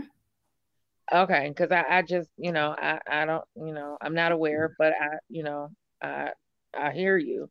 Yeah. Um, so there's, uh, and again, you not saying that yours is anecdotal. I know a lot of people go on to have healthy babies, but there right. are percentage of women that can't have babies because of this. There are people that have problems with having this. So, and again, with I'm not sure if you saw the video that I just state, showed, but the doctors are telling you the higher the trimester that you have the abortion in, the higher risk that you mm. have, and death is a risk. Okay, and I've known, I knew, I I do know a couple of women who have had late term abortions, and I'm not saying anything. Um, I'm not trying to be right in what I did because I, you know, or justify anything. I just felt like I know as soon as I found out, I was like, oh, okay, you know, I'm not waiting around. Like, you know what I mean? So, and this was almost 20 years ago, actually. So, and that doesn't, I'm not justifying that either. But um, you know, I just I got so many opinions. I don't want to take up your time, but um, I I appreciate you um for taking my call though. And um, no problem. Let me get to Uncle Stu. If you okay. want to come back up, I don't have any problem. Let me get to Uncle Stu, and I'll just drop you in the back. Okay, I'll hang out in the back for a little bit. Okay. Okay. All right. Thank you. Let me see. Well, where is it letting me just drop you in the back? All right. Shane, I got you. Uncle Stu. What's going on? What's How going are you? How are you Boy, doing? you blowing up these YouTube streets. I tell you, between you and Nathan Daly, y'all just got me all over the place. like, like y'all ain't leaving a brother no room to have a stream. I tell you. I'm not messing with Nathan Daly. Okay, his stream lasted almost nine hours. Uh, yeah, he- I took my forgot that I braids out, rebraided. I'm not messing with that Nathan Daly. I, got Look, look, Na- look, Nathan forgot I got gray hair. I can't stay up late. I don't know who he think he is. But know. no, you did a great stream. Um, you know, I, I will definitely ask your permission to like, you know, clip two things. You know, I'm gonna talk about Mm-hmm. this tomorrow, but I'm coming from a totally different angle than than both you and Nathan did. So I'll briefly say it here. Um, I know a lot of people is very upset at what the Supreme Court did, but this is not new. Um, and just to let everybody know that this is not new. Everybody talks about, you know, why did they overturn this? This is precedent. This is precedent. But we forget that there was another precedent that the Supreme Court overturned as well. And that precedent was even longer than this precedent. You know, there was a precedent for 60 years, and we overturned the called Brown versus Board of Ed. And we overturned the Plessy Ferguson. Um, I'm gonna speak about that tomorrow. Um, from a political standpoint, I don't think everybody's understanding that the Supreme Court overreached in the 1970s. Um. They overreached bad because there is nothing written in the Constitution. There's nothing written on the federal level as far as you know. Um, this is this is this is the case. So we really have to take a deep breath, take a deep dive, really understand what's going on, and then what I always explain to people. Now I'm with you. I'm pro-life. Mhm. But as I explain to people, this is really giving you back the power that you that you really always wanted. Um, what is that power? The power to control what's going on in your local and state governments. I Because agree. this is going to force you to now get your behind up and vote. Stop waiting every four years. Mhm. Um, I don't know what's shocking everybody because Biden was the head of the crime bill back in the early 90s. Biden was the head of of of that Obamacare, which Mhm. also fueled a lot of money into um, you know, these abortion clinics. And now he's there all over again. So I don't understand why um, people are not really able to see, but we're going to bring it out. We're going to fight on all the fronts. You know, we're going to fight on all the fronts. Um, I want I want women to understand that that there is a difference between you know abortion rights and your health, and there's Mhm. and those are two totally different um, things. You know what you go through as a woman in your health is is one thing, and yes, we should support women's health, making sure that you can go to your o, o- you know OB uh, OBGYN Mhm. doctors, etc. And, and we need and we need to advocate for that. Um, we need to also make sure that the insurance companies is can can you know what I'm saying be Mhm. able to pay for certain you know uh, birth control. But this is also going to put some D discipline on, on my brother's side. It's going to put some P discipline on the woman's side. And so we need a little bit of, of accountability on both sides. Um, not only that, but we also need to take more of the deep dive, you know, because if we're running around saying I'm B1, if we're running around talking about I'm FBA, if we're running around talking about I'm ADOS, then this should be a championship for all of them because the reason you ain't getting your reparations is because um, you done buried it. Mm. Because if you look at the numbers of the amount of of of deletions that took place in our community, we could have already had the numbers to get the reparations. So guess what? Your reparations went with Biden. Your reparations went with all of these, you know, deletions. Yeah. You know, if you want to go number for number for number. And we Um, can because that's the day you want to talk about black folks don't have no power and power because Right. it ain't many of us. Ain't many of us. You know, you you so so if you want to go down that rabbit hole, we ain't got to go. I'm gonna go direct and, and say it. Um, you know, I come straight from the from the political side, you know, so mine is looking at the government, what is the policy, what is the bills? A lot of times what we are saying is we'll say, oh, well, here's this bill that's about health, but they'll package it with a whole bunch of other little bills Mhm. and then put it together. Like I tell people, a real bill is only about 10 pages. But by the time it reaches the president's desk, you're talking about almost a thousand pages. They Mhm. done put all kinds of stuff in that little Trojan horse package.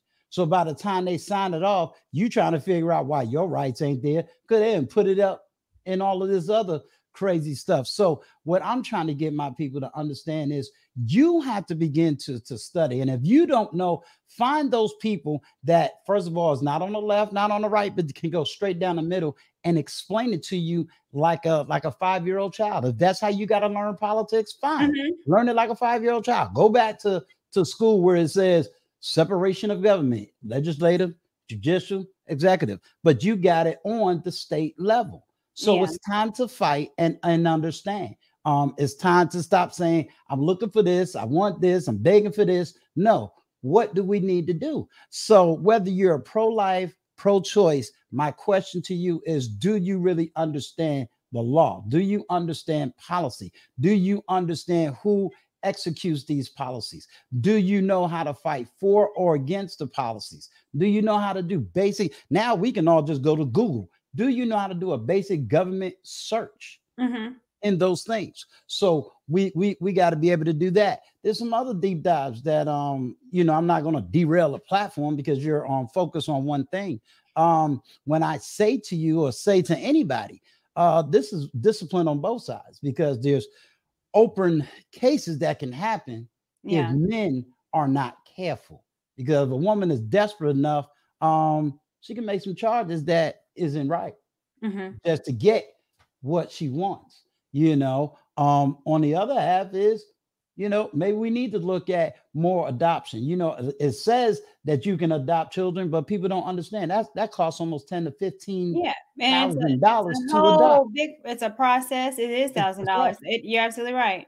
It, it's a lot of money. So just saying put the child up for adoption they're going to get adopted out it is wrong we got we do know that cases of, of, white people that had the money wanted to adopt black kids and black organizations said no they need to be in a black family okay mm-hmm. find a black family that's willing to adopt mm-hmm. so you know we got a lot of issues that that needs to be taught but we just got to take the deep breath and and and really begin to communicate so again i just wanted to come up here support you i love what you're doing and what you're saying you know, you and Nathan, y'all, y'all, y'all done aged me up a whole nother two years. I tell you, you know, I hope y'all leave me something to talk about tomorrow. No, you got this. You got this. What you were saying. you're you're absolutely right, and I think honestly, a good. You know, it's what does this mean? What does this mean for men? Yeah, there, there, you know? there's a lot. Mm-hmm. Yeah, what does it mean for men now? Because no longer the days because they are men that's oh he go three hundred dollars go ahead and take care of it. That, hey, hey, I mean, we're gonna be uh, real. Let's be real. So men right. were using it was a tool as well too. That's right. And and, and let's be honest. Let's you yeah. know let's call a spade a spade. Let's no longer cap. Mm-hmm. I get it. They're talking about hot girl summer is over. Well, here's the reality. Hot girl summer is not going to be over just because this case is over. Mm-hmm. You, you, you see what I'm saying? Because for every hot girl summer, there's a hot dude summer too. Hmm. Yeah. You know, we got laws that says you're not allowed to delete nobody with a gun. Did that stop anybody from doing it? Um, we got laws that say do not, you know, rob you. Did yeah, that stop? Did that stop robbery? No. Does that stop larceny? It, so the law is not going to stop anybody. It mm-hmm. only puts a check on those who already wants to be in the moral conduct of the law. Yeah. You know, but again, that's a deeper dive, deeper question. But you know, love well, you. you. You got that tomorrow. I got that tomorrow. Yeah, I'm on a poly Okay, we over here. We play hot potato. I got this. Yeah, part, yes. You, you, do, you do hot potato, and then I got the police over here. He just eight hours. I can't hang. I'm old. I can't hang. I can't hang. I'm done with him. but no, I appreciate coming up here and, and I hope I made some sense to the conversation. You did, and I appreciate you and thank you mm-hmm. for that information. And um, that's something that I want to look at more too. Um, I think this does put the power more in our hands, taking it back to the state.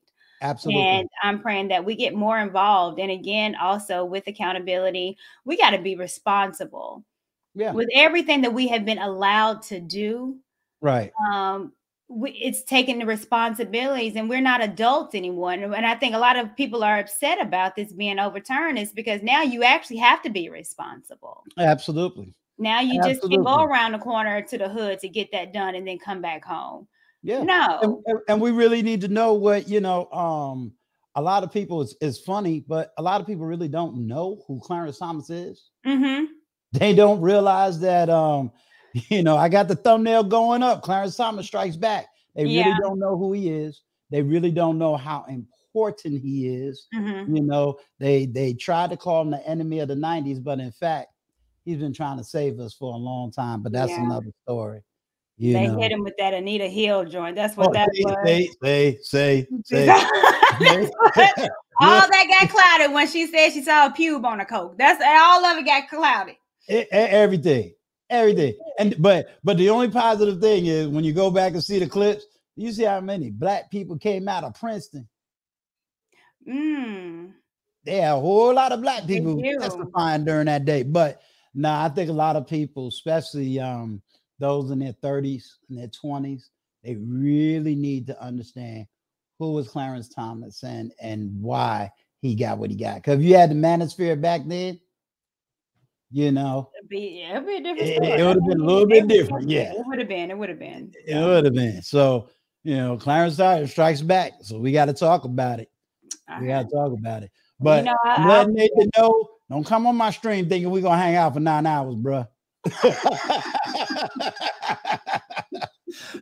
but no, I appreciate it. I'll be watching watching the Alright. rest of the stream in the back. Thank you. Bye. You're welcome. Thank you. Have a good one. You too. Simon, are you there? Yo, What you got for me? Hold up. Someone said they are disappointed in you, Courtney. Well, Gregory, I'll drop the link and you can let me know why you're disappointed, my darling.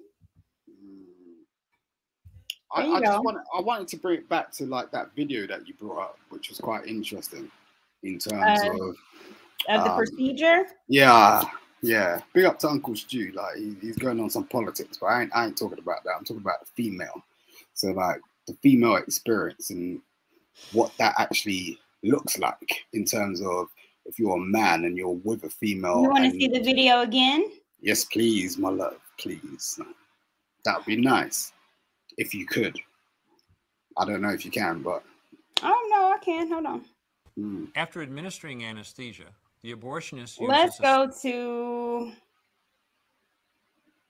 We'll do. say I didn't want to do the Because second. second trimester babies are so large, this greater access facilitates a late term abortion. Late term abortion requires that the cervix be prepared 24 to 48 hours in advance with laminaria.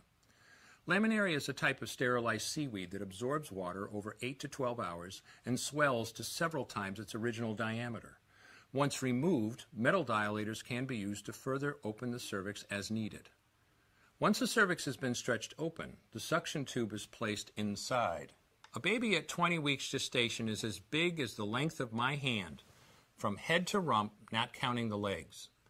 The suction machine is turned on, and pale yellow amniotic fluid surrounding the baby is suctioned out through the catheters. With babies this big, they don't fit through catheters this size. The baby's bones and skull are too strong to be torn apart by suction alone. This is a Sopher clamp. A Sopher clamp is made of stainless steel. It's about 13 inches long. The business end is about two and a half inches long and a half inch wide, and there are rows of sharp teeth.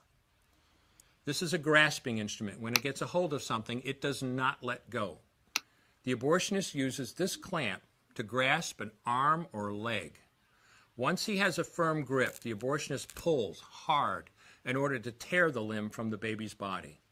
One by one, the rest of the limbs are removed, along with the intestines, the spine, and the heart and lungs. Usually, the most difficult part of the procedure is extracting the baby's head, which is about the size of a large plum at 20 weeks. The head is grasped and crushed. The abortionist knows he has crushed the skull when a white substance comes out of the cervix. This was the baby's brains. Hmm. The abortionist then removes skull pieces. He removes the placenta and any leftover parts of the baby with a curette, scraping the lining of the uterus for any remaining tissue. The abortionist then collects the baby parts and reassembles them to make sure that there are two arms, two legs, and all the pieces. Once all the parts have been accounted for, the abortion is complete. For the woman, this procedure carries a significant risk of major complications, including perforation or laceration of the uterus or cervix, with possible damage to the bowel, bladder, and other maternal organs. Infection and hemorrhage can also occur, which can even lead to death. Future pregnancies are also at greater risk for loss or premature delivery due to abortion related because the baby is so large and developed. And that's that's the other procedure when they do it on um mm, perforation, uh, laceration. So again, yeah. I, I think that we keep talking about I'm pro-choice and I'm pro-life and this is my body. Well, it's not your body, it's the baby's body. And what happens during an abortion is that they tear that baby from limb to limb. Mm-hmm. Um, and um, I think like the fact that you actually brought, brought this up was poignant. It's like really poignant. I don't think anyone's bringing this stuff up. Um, you don't you you don't get that in prenatal classes, right? Um, it, well, the thing is, you know, I try to when I do these shows, and I don't do my shows as much as I want to, but I try to um, add value. Mm. And when I started researching, I learned so much, and I, you know, I I knew this, but I was very, I was sure that a lot of people didn't know what happens during abortion, mm. um, and so, I'm pretty sure because of what happens um, you cannot tell me right now with what you see that that's not murder. All right, I'll come back to that. Um, you can. Yeah, but initially, I think the responsibility lies with us. So it's like, uh, you know, there's no sort of education around this sort of thing, really, um, and I think that's a problem. Like, we we there's no like our children go to school um, and we can we can try and be the best parents. I think there's a couple of people that sort of spoke on it before, but it's just like we could be the best parents that we can, but realistically, there's there's there's, there's really nothing. So, you know, if our um, go-to place is Google, like, you know, in terms of real life, that's a problem um, because you know unless what what what happens is unless you've actually experienced it, you you know that message can't be passed on because it's like you're you're now becoming an entity that you're sort of passing things on and acting like the government should be acting um, mm. and passing that message on to the whole community you can't do that like the message ain't going to be apart from yourselves you get what i'm saying so when we got platforms and stuff as well i really appreciate what you did today because it was like uh, i ain't seen that anywhere mm-hmm. um, but it's a real thing it's a real, real thing in terms of um, the effect it has on, um, you know, not only women, but the, the men that they interact with. Because yeah, the women have the first point education because they're feeling it. Like, you know, it's your body. Um, you know what you're going through. You're going through the doctor's appointments and whatnot. And you're trying to explain this to the man that you're with. And how's the man supposed to actually understand what the hell that is?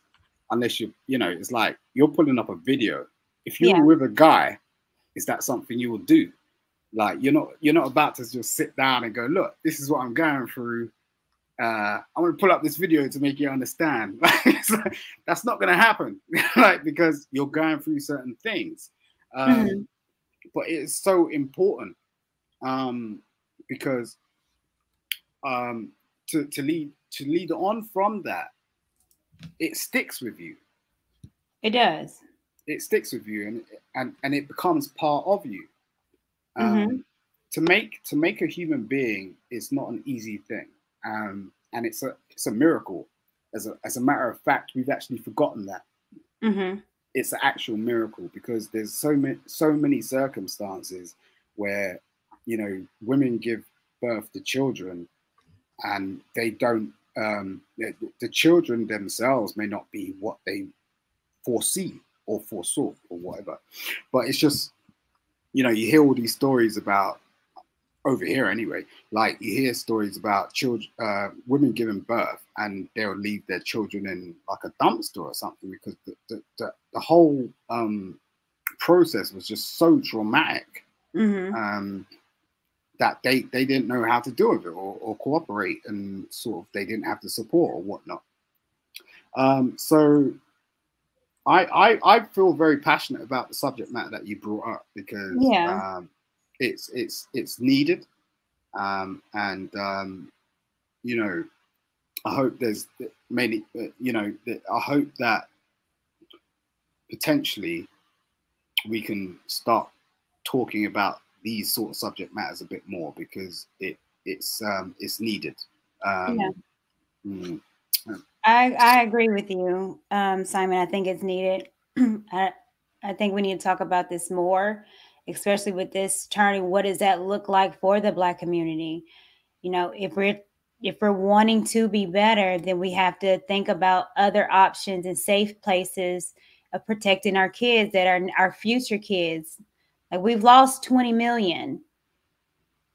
So Yeah. I want to refocus on rebuilding, and that's meaning replenishing who we are. And again, it does start with mom and dad, and it starts with mom and daddy making some babies. I mean, like to, to speak on that is like so. Like there was there was there was a couple of people that came up and they went like, "I've had about three, four abortions." Like that.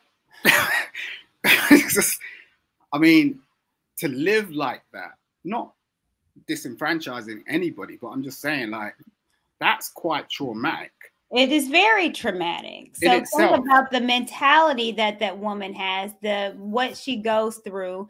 And I'm sorry, you know, we don't speak about this, but I do not think for one minute that the three, four, five, whatever abortions a woman had, that they don't think about that one, two, three, four abortions every other day.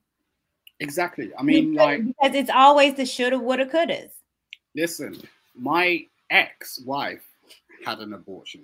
Mm. so and she'll speak about that to me every day like although i wasn't part of that process so it it sort of made me sort of understand Yeah. how poignant that is. Is like you can't get away from it. So like if you are choosing to go into a new relationship and you've gone through an abortion that sticks. So you have to sort of think about your part your like your your potential partner Yeah. in, in terms of how that's going to affect them. Because for me i was like I, I don't know what what that felt like until like it sort of you know i i sort of dealt with it in the future with with her. Mm-hmm. but it does have a drastic effect obviously to a point where you're going to be speaking about it for the rest of your life. So you really need to take that in into consideration when you're laying down with somebody.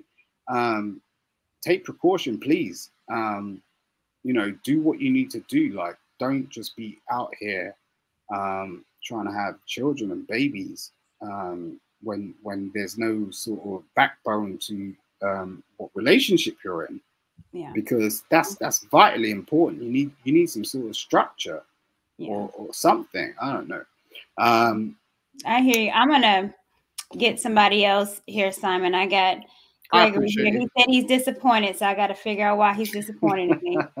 all right peace courtney thank you All right, much it's always good to talk to you. love and blessings all right you as well. all right peace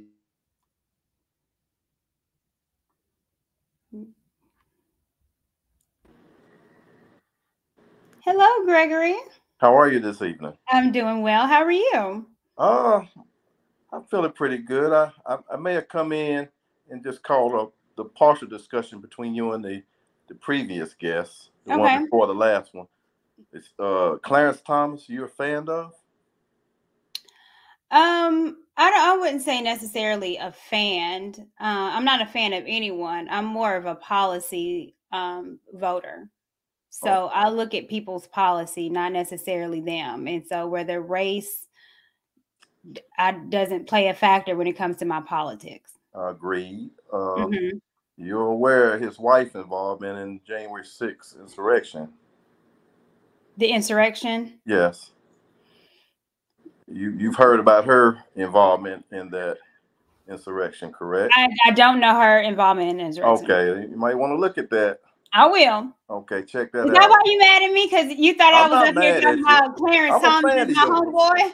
I'm a fan of yours. I watch watch you guys on the Peef all the time, and uh, I'm a pretty big fan of yours on on that Oh, channel. thank you. Uh, but uh, and on, on the abortion thing, how do you feel about that? Well, this is what my stream is about. Um, I don't know if you just saw the last video that I just played, but it was on one of the the procedure of what the abortion is and what happens.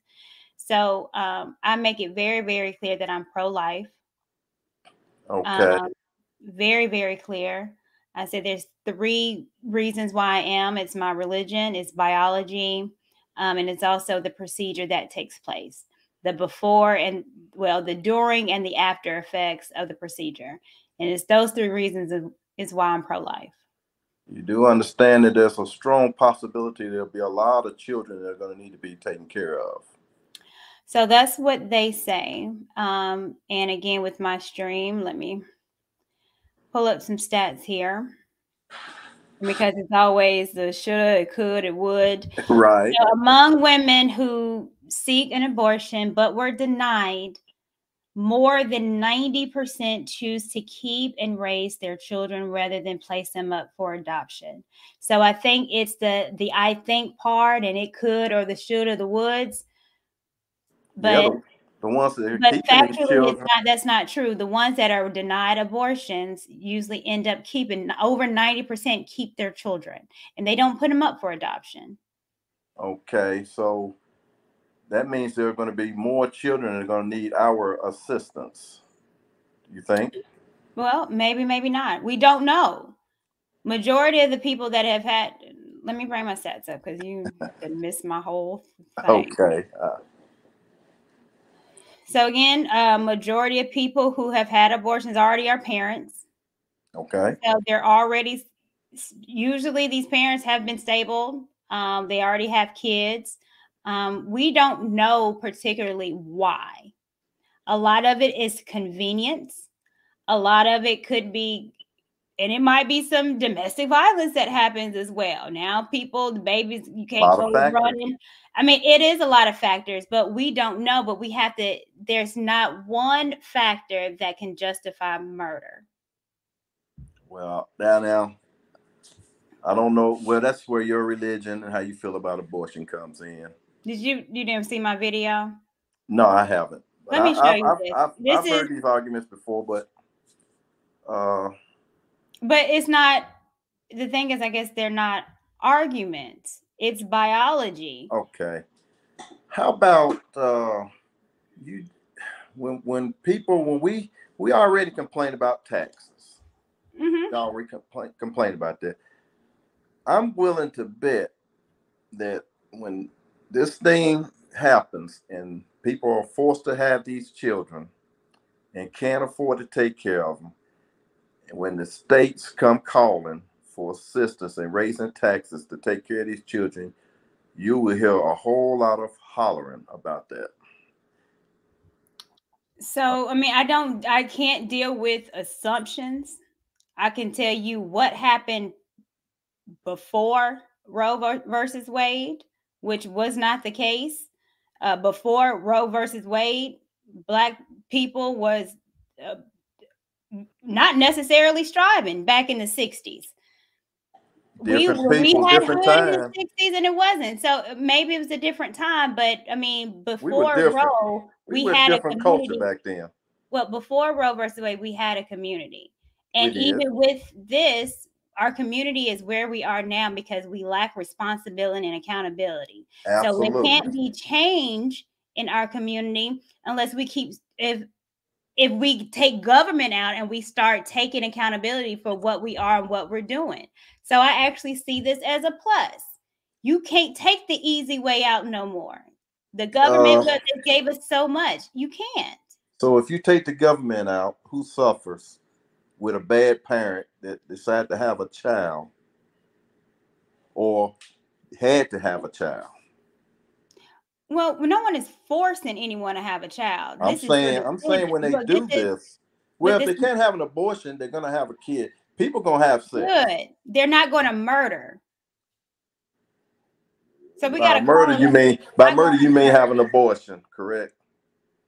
You said we call it abortion because we think it's so cute No. because we don't know what it is. Let me play this for you. Okay. 13 weeks of pregnancy. After administering anesthesia, Now, lem- I'm playing this, and this is what happens in the first trimester. This is between the five and 13 week. people don't know they're pregnant to the fifth to the sixth week.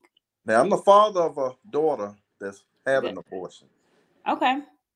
Well, So, I'm, I'm a, very I'm, a, I'm a, okay. Well, I'm a mother, so I've, Okay. I'm familiar with the process of, of it as well. Okay.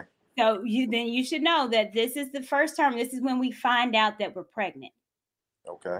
and it's usually about five to six weeks. Then we find out that we're pregnant because in the ultrasound, when they hear a heartbeat, then they know that we're pregnant. Heartbeat starts at five to six weeks. So you tell me this ain't a baby. Abortionist uses a speculum like this. This is placed inside the vagina and opened using this screw on the side, allowing the abortionist to see the cervix, the entrance to the uterus. The cervix acts as a gate that stays closed for the duration of pregnancy, protecting the baby until it is ready for birth. The abortionist uses a series of metal rods called dilators, like these, which increase in thickness, and inserts them into the cervix to dilate it, gaining access to the inside of the uterus where the baby resides. The baby has a heartbeat, fingers, toes, arms, and legs, but its bones are still weak and fragile.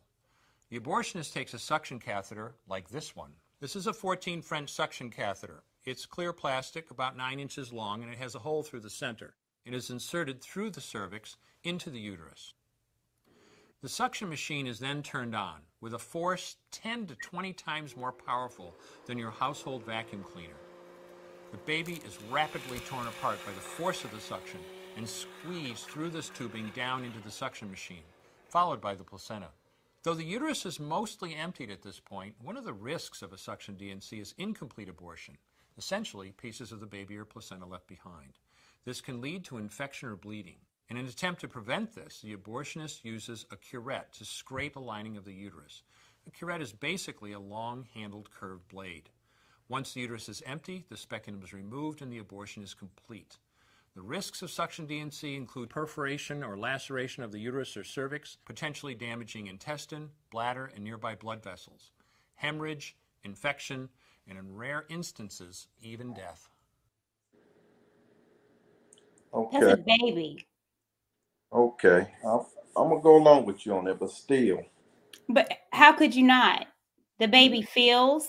This, there's one of okay, I, I get you on that.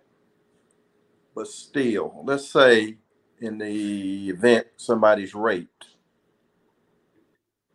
they go to term with that baby, they have to live with that baby and that ordeal.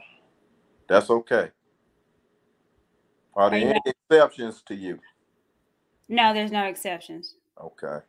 And this is the reason why I can bring something else too, because I mean, I've again during my research for the show and actually listening to women that were raped and decided to keep their child, and then the ones that didn't. The ones that didn't said that it was a double thing because aborting the baby does not take away the fact that they were raped. They will No, always doesn't. remember it. They will always have trauma. And now they're having trauma due to an abortion. So now it's two traumas these women are having to go through a rape and killing their child. Would there not be two traumas going through the rape and looking at that child every day, being reminded where that child came from for the rest of their life? For the women that has had raped and kept their child, they said no. They said it was power and strength because they wanted to love to prevail over the evil act. And they could not see themselves killing a part of them because someone decided to act a fool and harm them. But we do understand there are exceptions to those those studies, correct? Well, you do understand Every- that, that but, but this is the thing as well too, because what we like to do when we try to defend an argument is we do we always go to the minority. That's that's less less than two percent of um, abortions happen amongst incest and rape victims. Less than two. And I also feel that Well, let's go back to that. It's less than two. So you mean to I tell me you. that we need to start focusing on the less than two percent and forget about the ninety-eight percent that have these abortions because they don't feel like it, or they don't want the responsibility, or they scared that they may and might find out they was cheating? not so much that, but uh, how about abnormal births or births that Mhm. could, you could die? You've been diagnosed and possibly that you will die. More Okay. increased, more increased chance of death. So let's talk about that. So the first what was the first before you talked about increase of death? What was the uh, one that you, you have a birth that is dangerous? Okay, a birth a, a birth defect. So to, to endure. Okay, so where you, you have to choose, where you, it's pretty certain that say a doctor comes to you and tell you you're having this baby, you're probably gonna die having this baby. Okay. So let's talk about that because usually if they if it's a miscarriage or a procedure that they have, if something was going to happen where the mother um, was at risk for their life, usually what doctors do, they will tell you about the procedure and what needs to happen. What will not happen is an abortion where they tear the baby from limb to limb. So you so it's that does not you're happen. more concerned about how the baby is the abortion procedure is done where the baby doesn't go through being torn apart. Well, no, I'm I'm well, I'm more concerned about life. Now, if it so happens, and again, this is very minute. Again, you're talking about something that does it. Doctors don't even call it abortions. If you have an epitom, epi, epitomic pregnancy where the the eggs outside the uterus, what that's not an abortion. What I'm saying, if you people have, have miscarriages all the time, but that's not abortion. The the abortion is literally the act of terminating a pregnancy. With nothing nothing wrong with the baby. It's not about to kill the parent. That's not that's what the abortion is. So if it's something medical then that's between the doctor and then they go through that. That's why doctors don't even perform um abortions anymore it's just a total act of it. It's disgusting. It has no regard, no respect for life. And it's all the main objective in abortion is murder. The main objective, if a woman is having a, a issue with the pregnancy, the main objective is not murder. The main objective is how can I treat these patients so they both live? What are the options that we have so we can both have life? And if it's one or the other, then they usually go to look, I can save you or I can save the baby. They have options. In abortion, the baby don't have an option. But who would you choose? I mean, you're going to choose to lose your partner to have a baby? That's on you and your partner. And that's okay to have the baby taken in that instance. Whatever you call it, is it's still it's terminating, it's still terminating the pregnancy, correct? Well, not necessarily. If it depends on the procedure. So we're talking in general, and I don't know what has happened. I don't. I'm not a doctor. I'm not sure what happens with these pregnancies where it might be the mama or it might be the daddy. I have not a clue, but I know that's not an abortion. I know people miscarry, and that's not an abortion.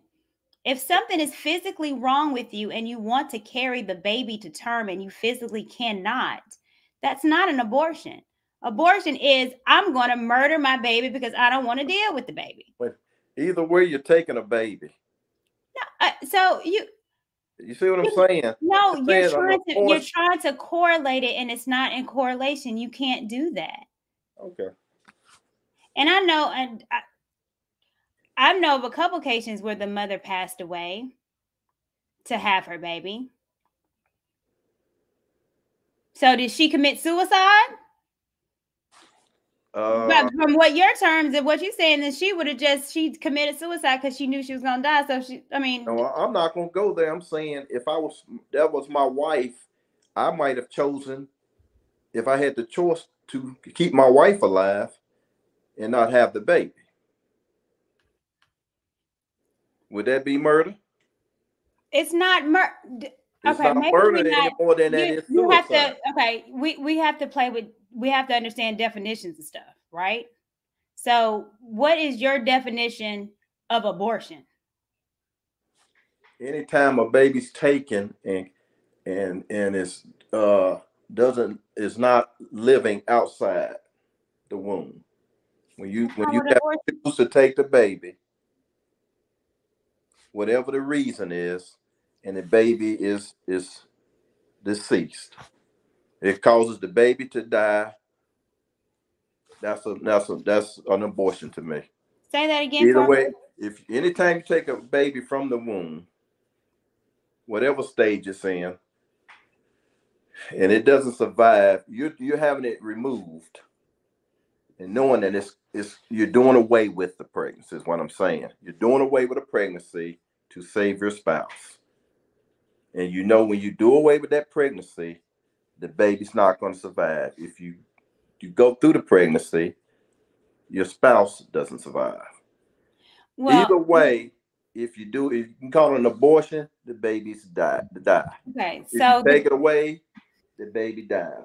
Okay, What's you're want you're wanting to talk about something that doctors don't even call abortion. That's why they don't even have stats on if the, if it's the mother lives or the the baby lives. There's not even stats when you look at abortion that because that's not what an abortion is. But it's the same. So sometimes outcome, babies correct? don't Same well, outcome. no, it's not the same outcome. If I have a miscarriage and I give birth to a stillborn, If you force a miscarriage to survive, and the baby dies, it's Well- it's a, it's a it's a dead baby. Either way. Okay.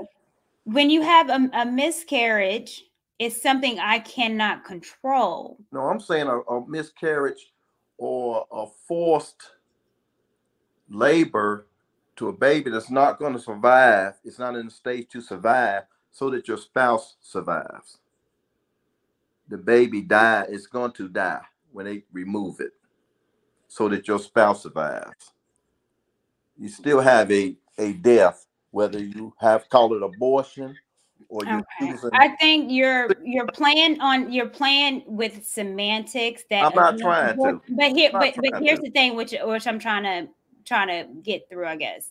okay. the stats of someone having a having an abortion because it's either their life or theirs it's not considered abortion so you're not going to see stats on that. I understand. those are health things that your doctor and you go through.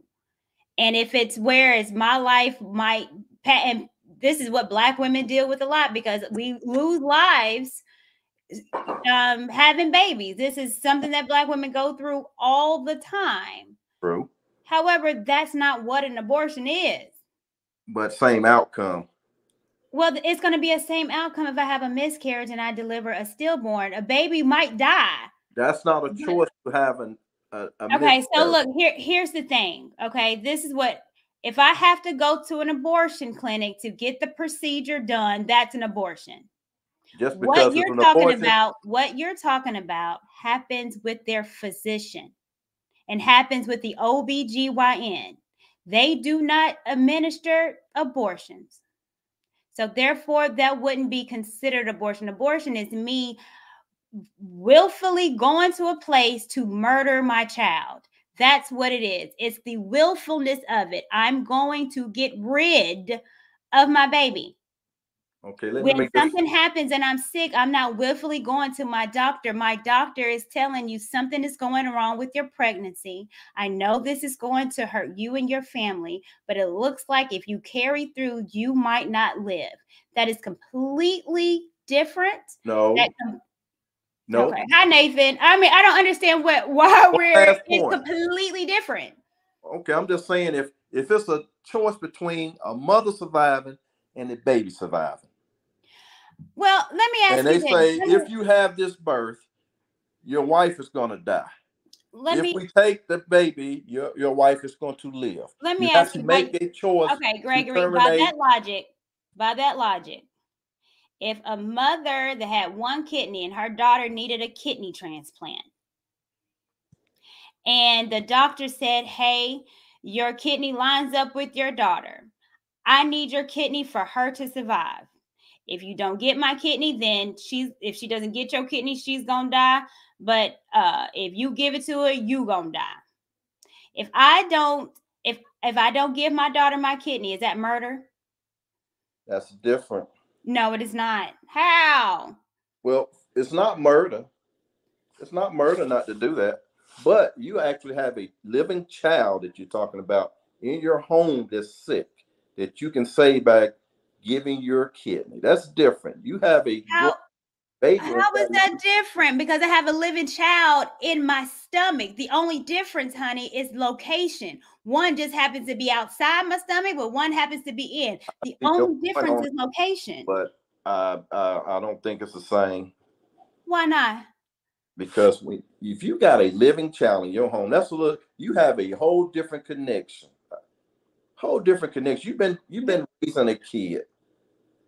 You haven't, yeah, you have you feel this baby inside of you, but there's I, I just can't understand. I cannot believe that you have. But you can't connection. understand it because you're not a woman. I When my daughter was with me, I had a connection. Right. Hearing I her can't speak on speak- that.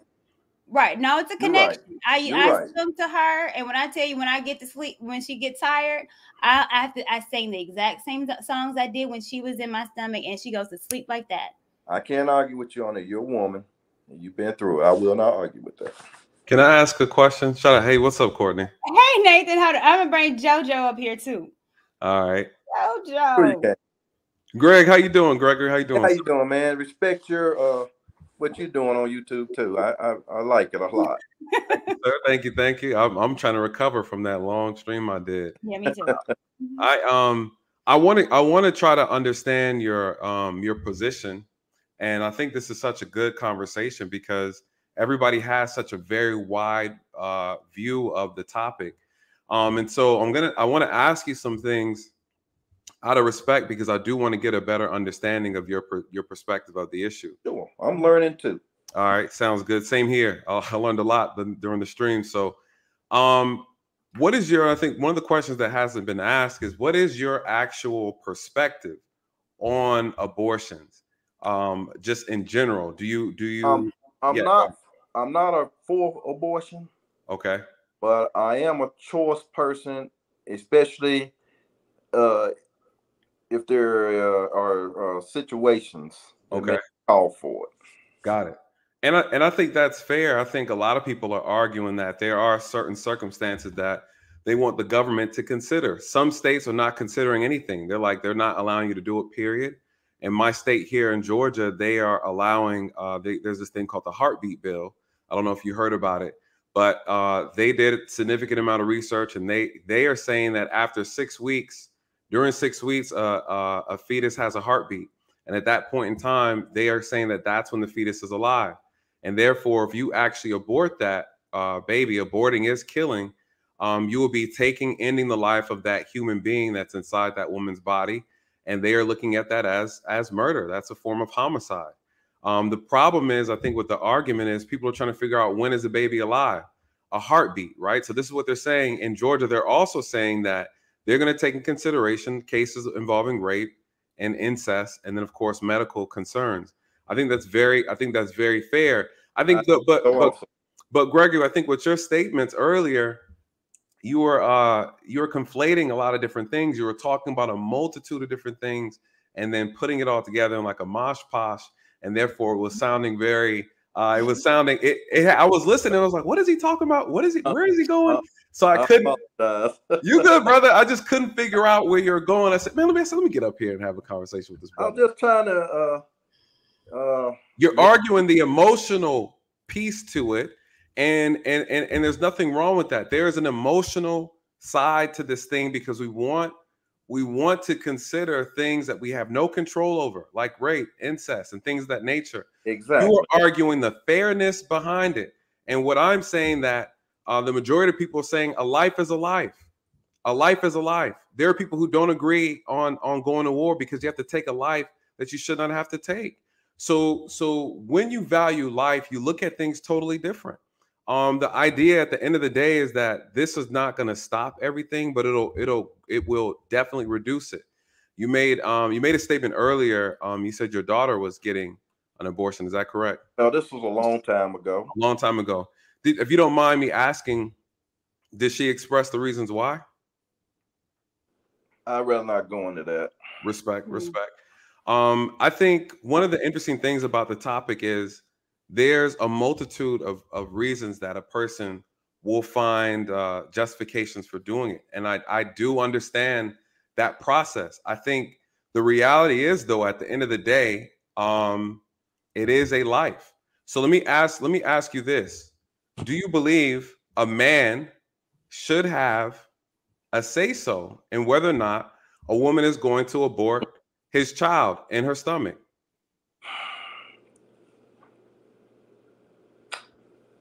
Uh, that's hard. I would, I would, if it was me, I would, I would like to have some say, but at the end of the day, it's it's the woman's body. But is that is? But I'm asking you though. You just said you would like to have some say. It is her body, but that's not her child. That child does that child does that child not it belong is. to you as well? Yes. So why would why should you not have a say so in in said child's life? Uh, What if your parent? What if your parents decided? more? That's a little bit more personal I understand. to deal with, and for I me to make that call, I wouldn't want to be the the ultimate person to make that call, or to be able to stop that. Um, my best my best option would to be to make sure that I don't get myself in that position as a man. I I can respect that. I can respect that. I, I I'm not gonna take that away from a woman. Wait I'm- one second, Gregory. You you just don't get in that position. Well, I like the way you said that, right? Because guess what? You're talking about accountability. So you are saying in this moment that you don't want to put yourself in a position where you give a woman 100% control over dictating whether or not she can kill your child.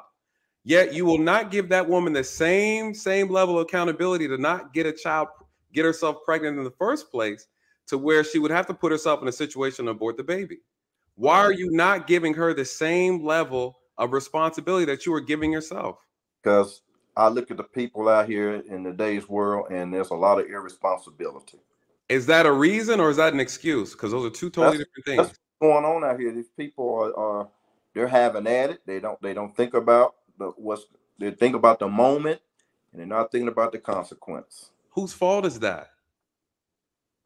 That's personal. That's that's their own fault. It's but see the problem is that it impacts this country, it impacts our community. So so again, earlier earlier you made a statement and you were you were talking about how the government has to fit the bill, foot the bill on this issue, right? Yeah. This is true. So one would argue instead of investing, right, in the homicide, how about we invest on the education of prevention, right? And I think that's the conversation I don't hear. People I only want to talk about, right? Like we need to make the same amount of effort preventing it than we are talking about committing the homicide of it because there needs to be consequences. I don't trust this government to do right either side. But we trust them enough to cut us a check if we can't take care of our hmm. children. They do that, then, yeah, then that's Right. not a good thing. But there, there goes the problem. We trust them enough to incentivize us to do immoral acts against our own communities, right? But we don't trust them enough to make a decision and say that we should not be killing the baby themselves. We, we all we're gonna do is keep if if we we don't feel good about them cutting a check to incentivize this. Why would I trust them to all of a sudden do the right thing now? They they cut that check. They get they get the man out the life, and and it's just a big cycle. It is. A big It is. So then the question is, the question is, And how much, how much time. of the, how much of the onus is on us to fix our own problem? It's a person. It, absolutely, You feel me? absolutely. Um, is. But it's me- gonna happen. But and and everybody should take responsibility. But you know, brother, out- love them but people people are not responsible out here, man. Well, but that's but that's the whole point. The point is that's not an excuse. It's not an excuse, but it's what's happening. But then my thing is my thing though is ex- by saying that we're accepting that. The question is how do we fix it? Be responsible. You said How do- what? How do we make people be responsible? We have to. We All have the to. birth control in the world out here. We shouldn't even be in this position. Now, It, it's cheap. They give it away some places. Let me hold on. Hold that thought. Go ahead, Courtney. Hold that thought. Let me get Joe in here, JoJo in here, because I know he has some stuff to say. Um, and I want to get what you have to say about my stream. You've been here, JoJo. Yeah, peace. What's going on, Courtney? Good. Long time no here. How are you? Girl, you know, I, I try to hit you on the Cash App every now and then, talk to you, do everything. You know what I'm saying? 'Cause I don't normally be, you know what I'm saying, on the YouTube thing. I had to cut some folks off, man, because they just been off cold, man. They been off cold. Hey, you know about uh, the Black Authority, right? Jason Black. Y- Jason Black. The, the- yeah. Yeah, he'll part of the new black media, man. He got a saying, and it say, we gotta watch out for them old niggas. and I don't mean to goddamn say that in shade, but I mean to say that in truth, right? because we got a brother sitting up here, man, advocating for the same thing that was helping our demise. Roe versus Wade was built on racial injustice and lies. The lady actually admitted on TV that she made that off of a lie. She was not gang raped by black men. That's true. And all of the momentum, all of the money schemes that she she she got behind it, all of the promotion and all of that stuff, she she actually confessed that on TV.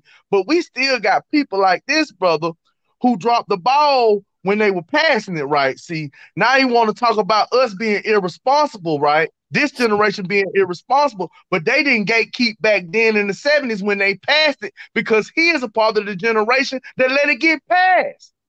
So you can't blame us. We're picking up the we're picking up where these guys left off. These are the skeletons in their closet that we gotta face. These are the demons that the, the generation before us put in our in our way. So this is the path we gotta walk. It's a good thing that they took that back it's a good thing that they're stopping this type of stuff from going on because it puts the responsibility back into our households. Somebody's going to mm-hmm. learn how to be responsible. I guarantee you that. Somebody's going to learn to keep their legs closed. Maybe not all of them, but I guarantee you it will start affecting all uh, our people in a in a better way because guess what? All of this hot girl summer, giving easy access to sex, not having no repercussions behind what we do, killing ourselves off. See, we would we should have been a bigger number. Mm-hmm. Our population was supposed to be much bigger. 20 million people have 20 million babies mm-hmm. that could have been people, right? Uh, uh, uh, have been aborted, black babies, since the Roe versus Wade went into place. That's right. So we got a system of injustice that's oppressing us and has us in this same situation, and then we're advocating for the same laws that hurt us. The same politicians that are against us. We will get out there and and and and uh twerk and dance and sing and eat catfish nuggets and all this old good stuff just for us to hear a, a, a, a few lies to make us feel like we're important. You feel what I'm saying? So at the end of the day, this ain't addressing black issues, man. When it comes to abortion, you know what I mean? That's not address. We need to have our numbers. We need to get our numbers up so we can all build as a collective. That's how you address that that situation right there, man. And definitely we need those reparations, man. They need to cut the check. We ain't way quitting. I'm finna goddamn leave the floor. Everybody wants a check. Much love, much love, man. Keep doing what you're doing, sir. You know what I'm saying? And um, do you got you got a Twitter, Courtney? Cause I was trying, I was looking for you on Twitter, man. I don't really be on Twitter like that. I have an account, I just don't really do it. But oh, okay, I'll, okay. I'll, I'll, I'll send it to you, Joe. I actually, I actually uh shared your video and got some people, you know what I'm saying, from Twitter to come check you out because you know what I'm saying. Like, yeah, folks don't know you on cold, Courtney. You know what I'm saying? I just you know, I, I speak honestly. I mean, I obviously I care about the community, and yep, no doubt, no doubt, top, no doubt. Topic. So do I. It's so hard staying on code these days. All yep, right, no so, no I appreciate you, JoJo. Thank Peace. you. I'll send it to you. All right, okay. all right, now make well sure said. now. Be- well said, JoJo. Well said. all right, then, Nate. Uh huh. Peace. All right, Mr. Johnson. all right, now. Shout out to JoJo. Bless his heart. We got we definitely got to have a conversation. To, Gregor, what did you have to say about that? Who me? Yes, he was addressing you, uh, and he said it was your generation. Yeah, yeah, okay. That started this. Said, yeah, okay. I have you. nothing to say about that. Hey, just because well, something's out there don't mean you have to jump on board. Mm-hmm. That's true. You got to be responsible enough to look at it and decide whether that's right for you or not whether you believe in it or not, just like you did, uh, Courtney. How long abortion been legal? How long has it been legal? And how long you been against it? Um, so I well, I said the story that I began to be pro-life maybe about a year and a half ago. So it's very recent. Oh. And the reason being is that I was going to um, I was pro-choice. I wasn't for it, but same right. you, I was lukewarm. And so I was straddling the fence, like, you know, eh, I don't believe it, but if she does it, that's on her. Um, but then I was going to my daughter's um, pediatrician, and it's in a black neighborhood. um, North Nashville, and it's right next door to uh, a Planned Parenthood, right next door. And I was like, okay, you know, so they're picketing, and I'm walking out with my daughter, and they're looking at me, not knowing where I'm going. Um, so I I don't remember I went up to him or he went up to me, but it was a pastor and was like, Well, this is why we pick it." And I was so glad to see that you have a daughter and you know, it'd be so great if you can come over here so they can see that you're doing it. And then they started showing me videos. They were a little bit more graphic than what I showed today. Um, and I was just blown away because I, for the life of me, I'm thinking of abortion. I'm just thinking it's the baby's gone. But the process, I never knew that they tore the limbs. And I never knew that at six weeks, a baby can feel. So they take the humanity, they take um, the spirit out of a child as if it's nothing and it's just there, like it's just some blob. And it's not. It's six weeks. It, the heart is beating. And I guess I didn't even recognize having a daughter. Like I knew it was a heartbeat around six, seven weeks. But you know, when you look at a sonogram, it wasn't 3D.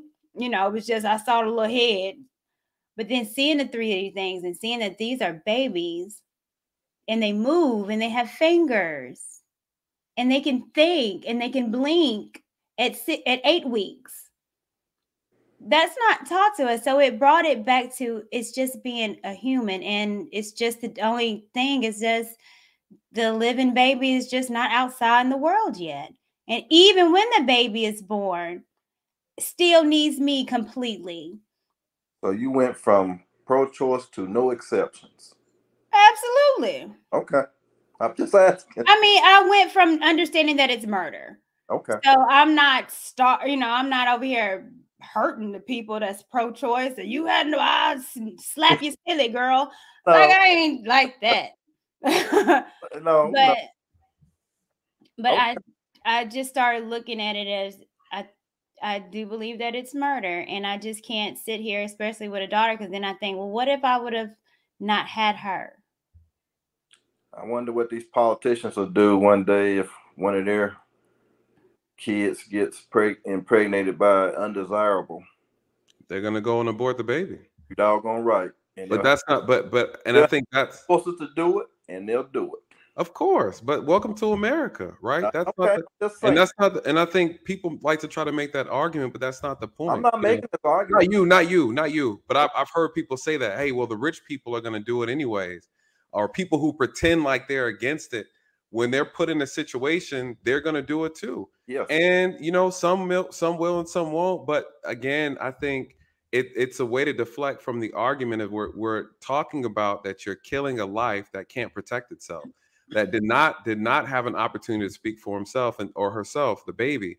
So so this is something I think is interesting though, because you made me think about this when you were talking about uh, a woman should have 100% say so over it's her response it's her right to abort the child you know the power of a woman that she has is she can make a man become a father even if he doesn't want to be sure can. but a man cannot make a woman a mother if she doesn't want to be. And so if if a woman decides she wants to abort the baby and, and kill the baby essentially, then nothing happens to her, right? She's allowed to do it.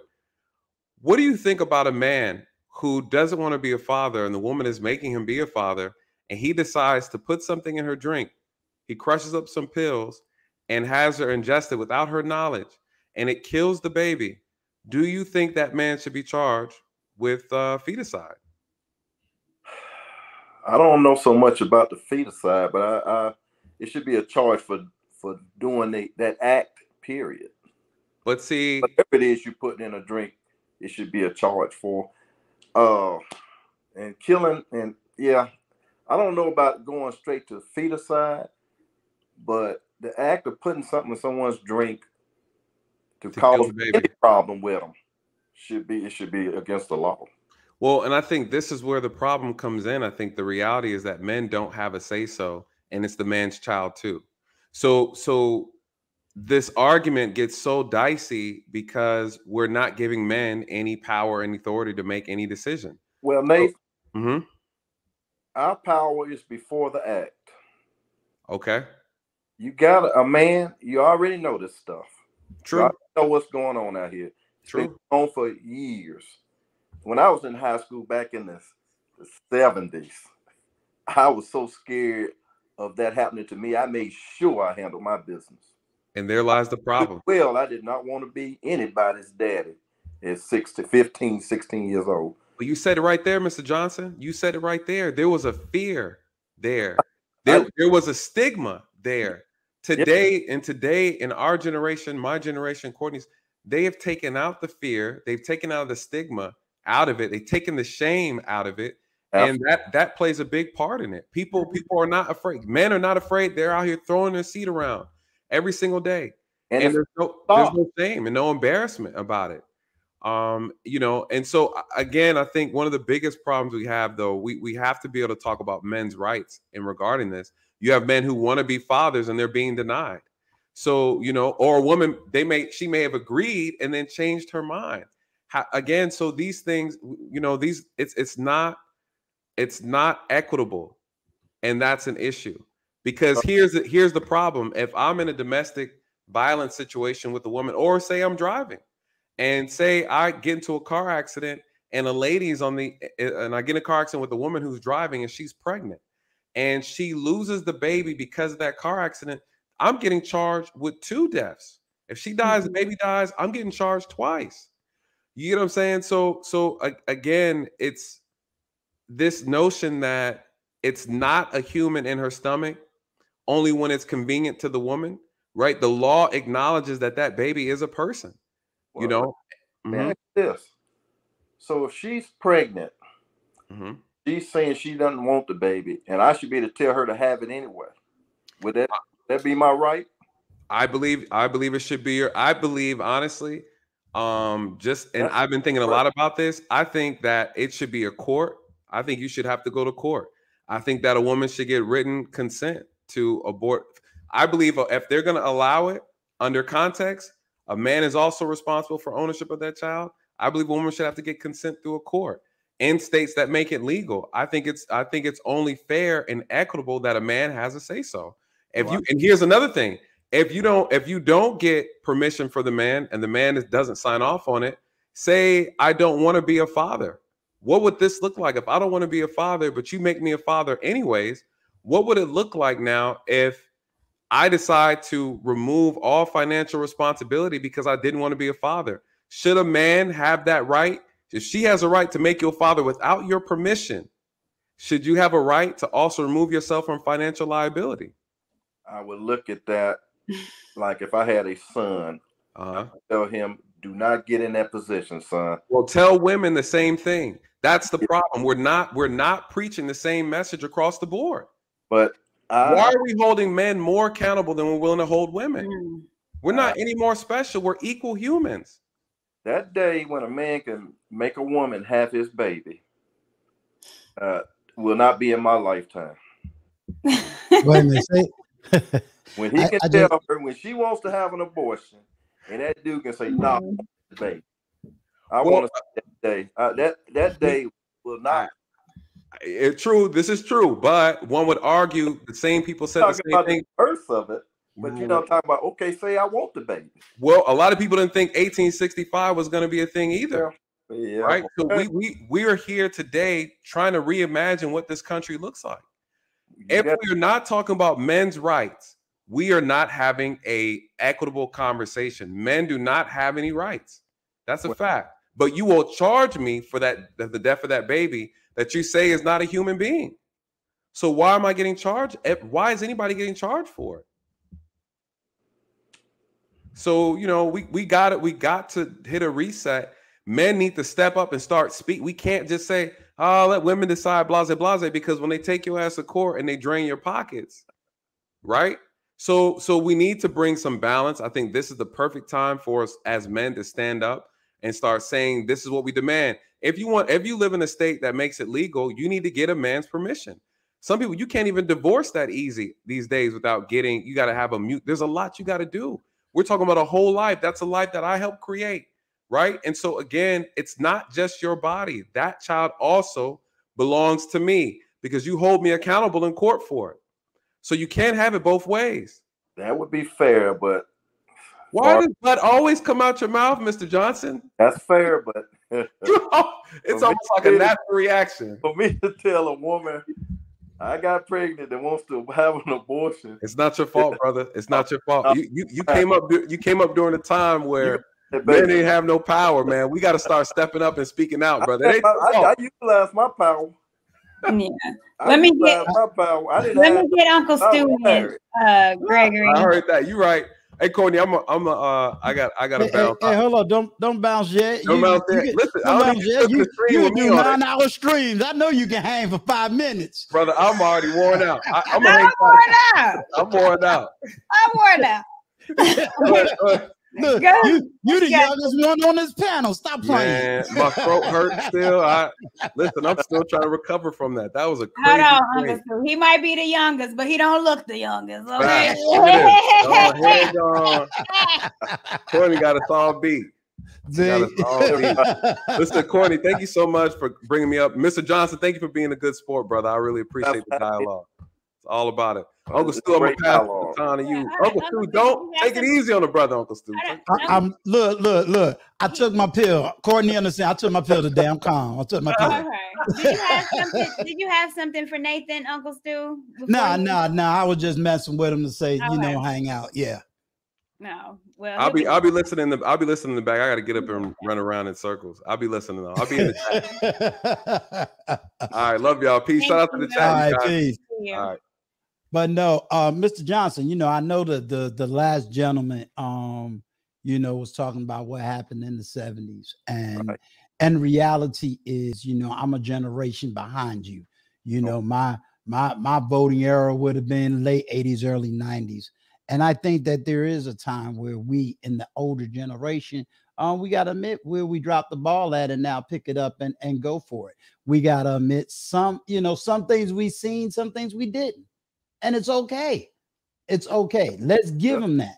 You understand what I'm saying? So when you heard me bring up Clarence Thomas, don't bring up the wife because this man got viscerated in the 90s. How many of us black men stood up for him when he got viscerated in the 90s? You know, I am a product of, of the Million Man March. You know what I'm saying? We got viscerated trying to protest during the Million Man March. What was the Million Man March about? Black men standing up, trying to do the right thing, go back to the community. We can't let that history go. Mm-hmm. But we also got to recognize some of the anger that some of these younger generation people are feeling. So we got to give them a certain level of that anger. You see what I'm saying? And with that, we got to be that older generation that stands up and say, okay, we may have dropped the ball in the 90s, but we ain't gonna drop the ball now. We may have we may have didn't see certain things in the 90s, but we see it now. You understand? So there's a certain level of, of back and forth in which we got to take. So the the when I say it's time for the back and forth or time of the stop, is I have daughters. I taught my daughters what I call P discipline. Mm. And if we ain't teaching our daughters P discipline, this is what's going to happen. And that's the problem. We're not teaching our daughters P discipline. We're not teaching them how to really vet a man. That's that's number one. And then number two, as far as us as men, we got we got emasculated in the early 2000s. We got to stand up and talk about that. We got emasculated. We got to teach these people how we got emasculated. How was our power taken? How did things happen? What we didn't have in the 90s, we didn't have the internet. We had no way to communicate. The only way I knew what you was going through if I pick up a telephone. Mm-hmm. Now we have the ability to communicate with men not only nationally but internationally. And we, as the older generation, we got to hear what's going on, know what's going on, and be the first to step up. Why? Because you and I is in a financial position where they can't silence us. So we got to become the voice of these young men who right now don't have a voice. To know better is to do better. And what do I mean by to know better? we can now go back and say, you know what? We messed up when we didn't defend Clarence Thomas in the 90s, but we're going to defend him now. You worried about his wife. I'm worried uh, about the policy. Uh, we got to uh, start stepping up for the policies. We failed. The policies didn't work. We got to sometimes leave one party that did not prove itself to be right and exact, and we may have to switch. We got to start speaking policy. We got to admit where we made a mistake, learn from it, and move forward. We can't keep coming up with these ad hominem attacks. We can't keep telling our black men, step up, step up, step up. Bruh, when I was growing up, I couldn't name five black millionaires. Today, I can name five black millionaires. When we was growing up, we couldn't name five black male billionaires. Today, we got five black billionaires. We need to recognize the advancement of black men that they have stepped up, they have educated themselves, they have become more financially successful, they have leveled up since the since 95. There's more black male millionaires, there's more black men in the middle class, there's more black uh black uh male billionaires. We need to praise them for their step up and begin to fight for their right to be who they are. We got to stop making excuses and we got to stand up. We can't keep giving these ad hominem attacks, always going to the lower individuals and saying, well, we got to fight for the 1%, but we're going to let the 95% go.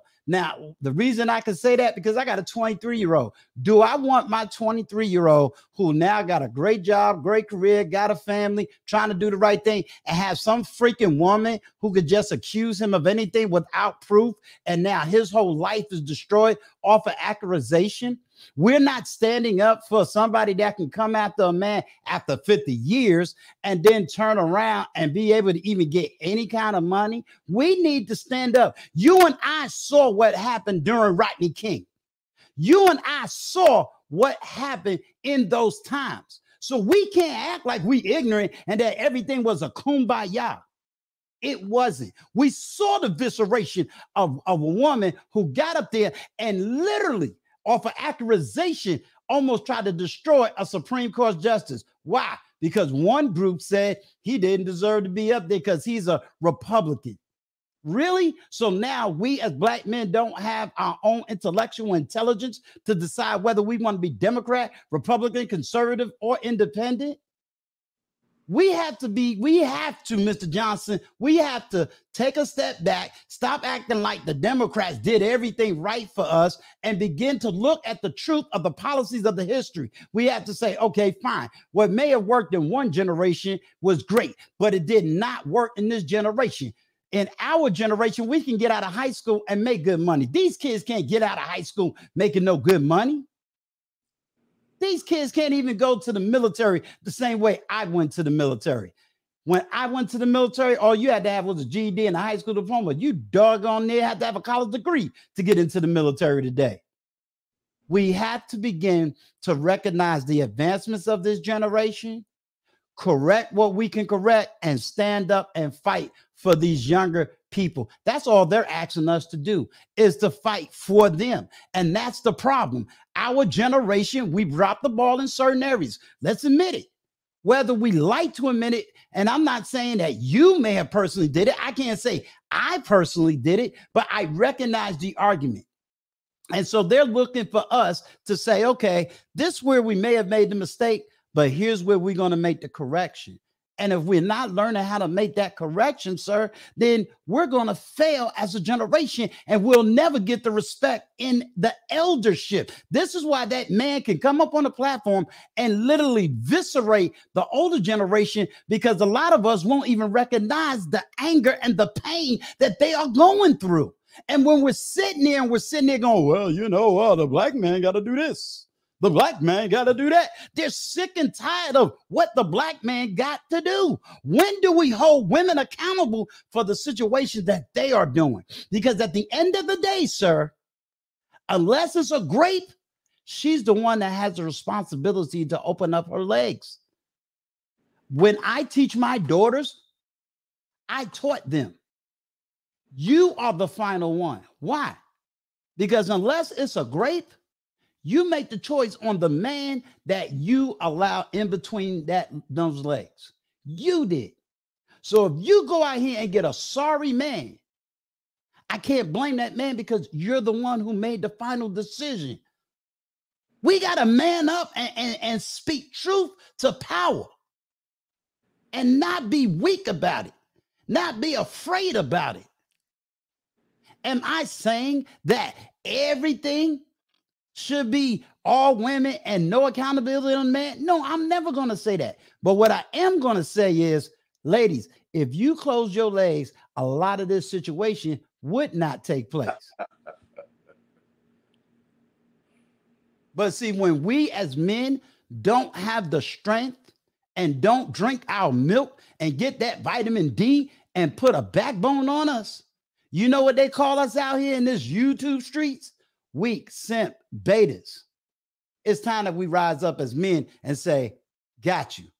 Tell you, you, you tell me how you arguing, you fighting, and I'm gonna go out here and I'm gonna fight for your rights, the rights that you are trying to get today. That's that's all I'm saying, and I'm speaking to you as a person that we should be less than 10 years apart in age. I'm speaking up for the 20 and the 30 somethings that can't speak. I'm speaking up for the 20 and 30 something that may don't have the vocabulary to be able to articulate and express their inner feelings and their inner anger as what's going on. These youth are angry right now. They are pissed off right now. And if you and I don't learn to have a little bit of compassion for what these kids are going through, we're going to lose another generation. And I'm asking you, join me, Mr. Johnson. Join me in fighting for these kids instead of giving Courtney all these little homonyms and who do this and, and what happens here. Help me to develop the next generation. Help me to educate the next generation. If you feel that a man should be able to say no, teach me to teach them how to do that. Because right now they're struggling. Right now they're lost. Right now, they're looking for guidance and direction. And if you and I don't step up and give these young men the guidance and the direction and the protection, we done failed them all over again. And I refuse to fail that next generation. That's why I wanted to come back up here, Mr. Johnson, because you what Courtney may not understand, what, what, what, what Nathan Daly don't understand, you, sir, you and I grew up in the same thing, watching the same stuff on the same television. You and I grew up watching Oprah Winfrey destroy us. You grew up watching all these different things. You watched a man get on national television, make millions and millions and millions of dollars, embarrassing our black community for over nine to 10 years. And as soon as one black man who only did for maybe a year and a half, got viscerated. Where was the stand up? Okay, I'm I'm done. I did take my pill, Courtney. hey, I said I let Uncle Stu, Uncle Stu.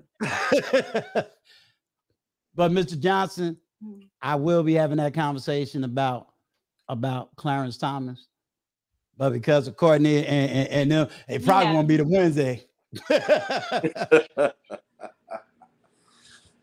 well, but that that's it. I mean, I, will let you rebuttal anything I, I say. I, I just, I just, I just, I just, not all.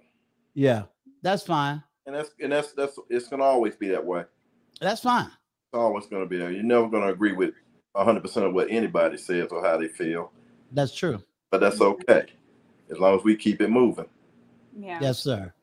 Yeah. Well, I appreciate you allowing me to to talk to you, Mr. Johnson. And and and and again, I hope we can keep moving this ball forward and let's stand up for this for this last generation. And only and the biggest thing I disagree with you about is Clarence Thomas. That's I'm, fine. I'm not a big fan of his. I don't want to get into a big old thing about it, but um, it's okay. I'm just not. That but, that's fine. But but uh, I get it. That's fine.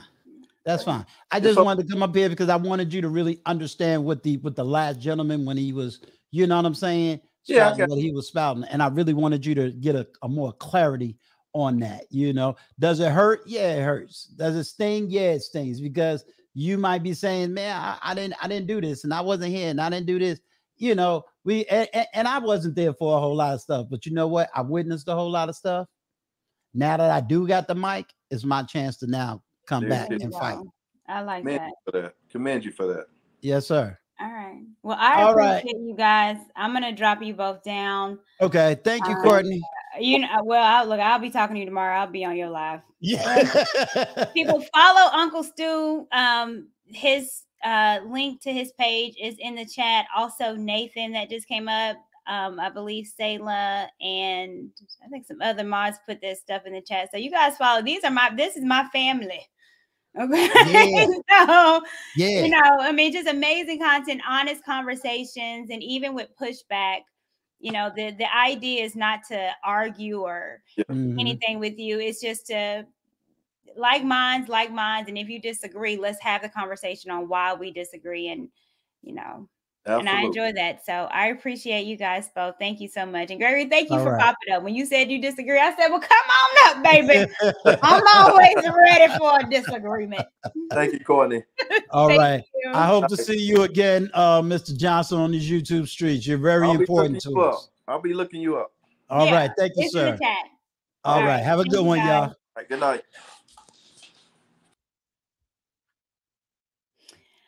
Well, well, well. I think we covered a lot. Um, I think uh, I know the videos that I played was probably like an eye opener, but that was the purpose. The purpose was, um, you know, if we say we pro life, then let's just show the nitty gritty of it of the reason why. If you saying you're pro choice, okay, I understand but let's maybe see some see something from a different perspective which again the media uh, planned parenthood are not going to show you exactly what happens and what happens to the baby and i think it's time that we start having a little humanity in these conversations. I think we need to start looking at these babies as lives that feel pain that laugh in the womb that scratches their head in the womb at eight, nine weeks. So, if the baby able to do that, then it deserves rights and justice, and they deserve to live. So, yeah, I'm excited about uh, Roe versus Wade being overturned. So, we shall see what this has in store, and I'm going to be here to talk about it. So I appreciate you guys so much. I'm going to end with a video. I dropped the link of this page that I subscribe to, I watch all the time. Um, it talks about abortions, it talks about life, it's everything that someone can tell you. What about rape? And what about this? And what about this? They do it they do it so clearly and they do it again it's all out of love so i'm going to play that real quick before i head out. Jasmine man i appreciate you just showing love support i love when you go live and hearing your opinions. Well you know i'm opinionated so i appreciate you so much. So yeah you guys if you haven't already like the stream you know, leave your comments. And again, thank you guys so much for your support. I really do appreciate you. And until next time, Black folks or white folks, all folks, all family, this is a children issue. It's not a race thing, it's not a man woman thing. Um, it's a save the children thing. And I think that is worth more than the BS that a lot of times that we talk about. So let go.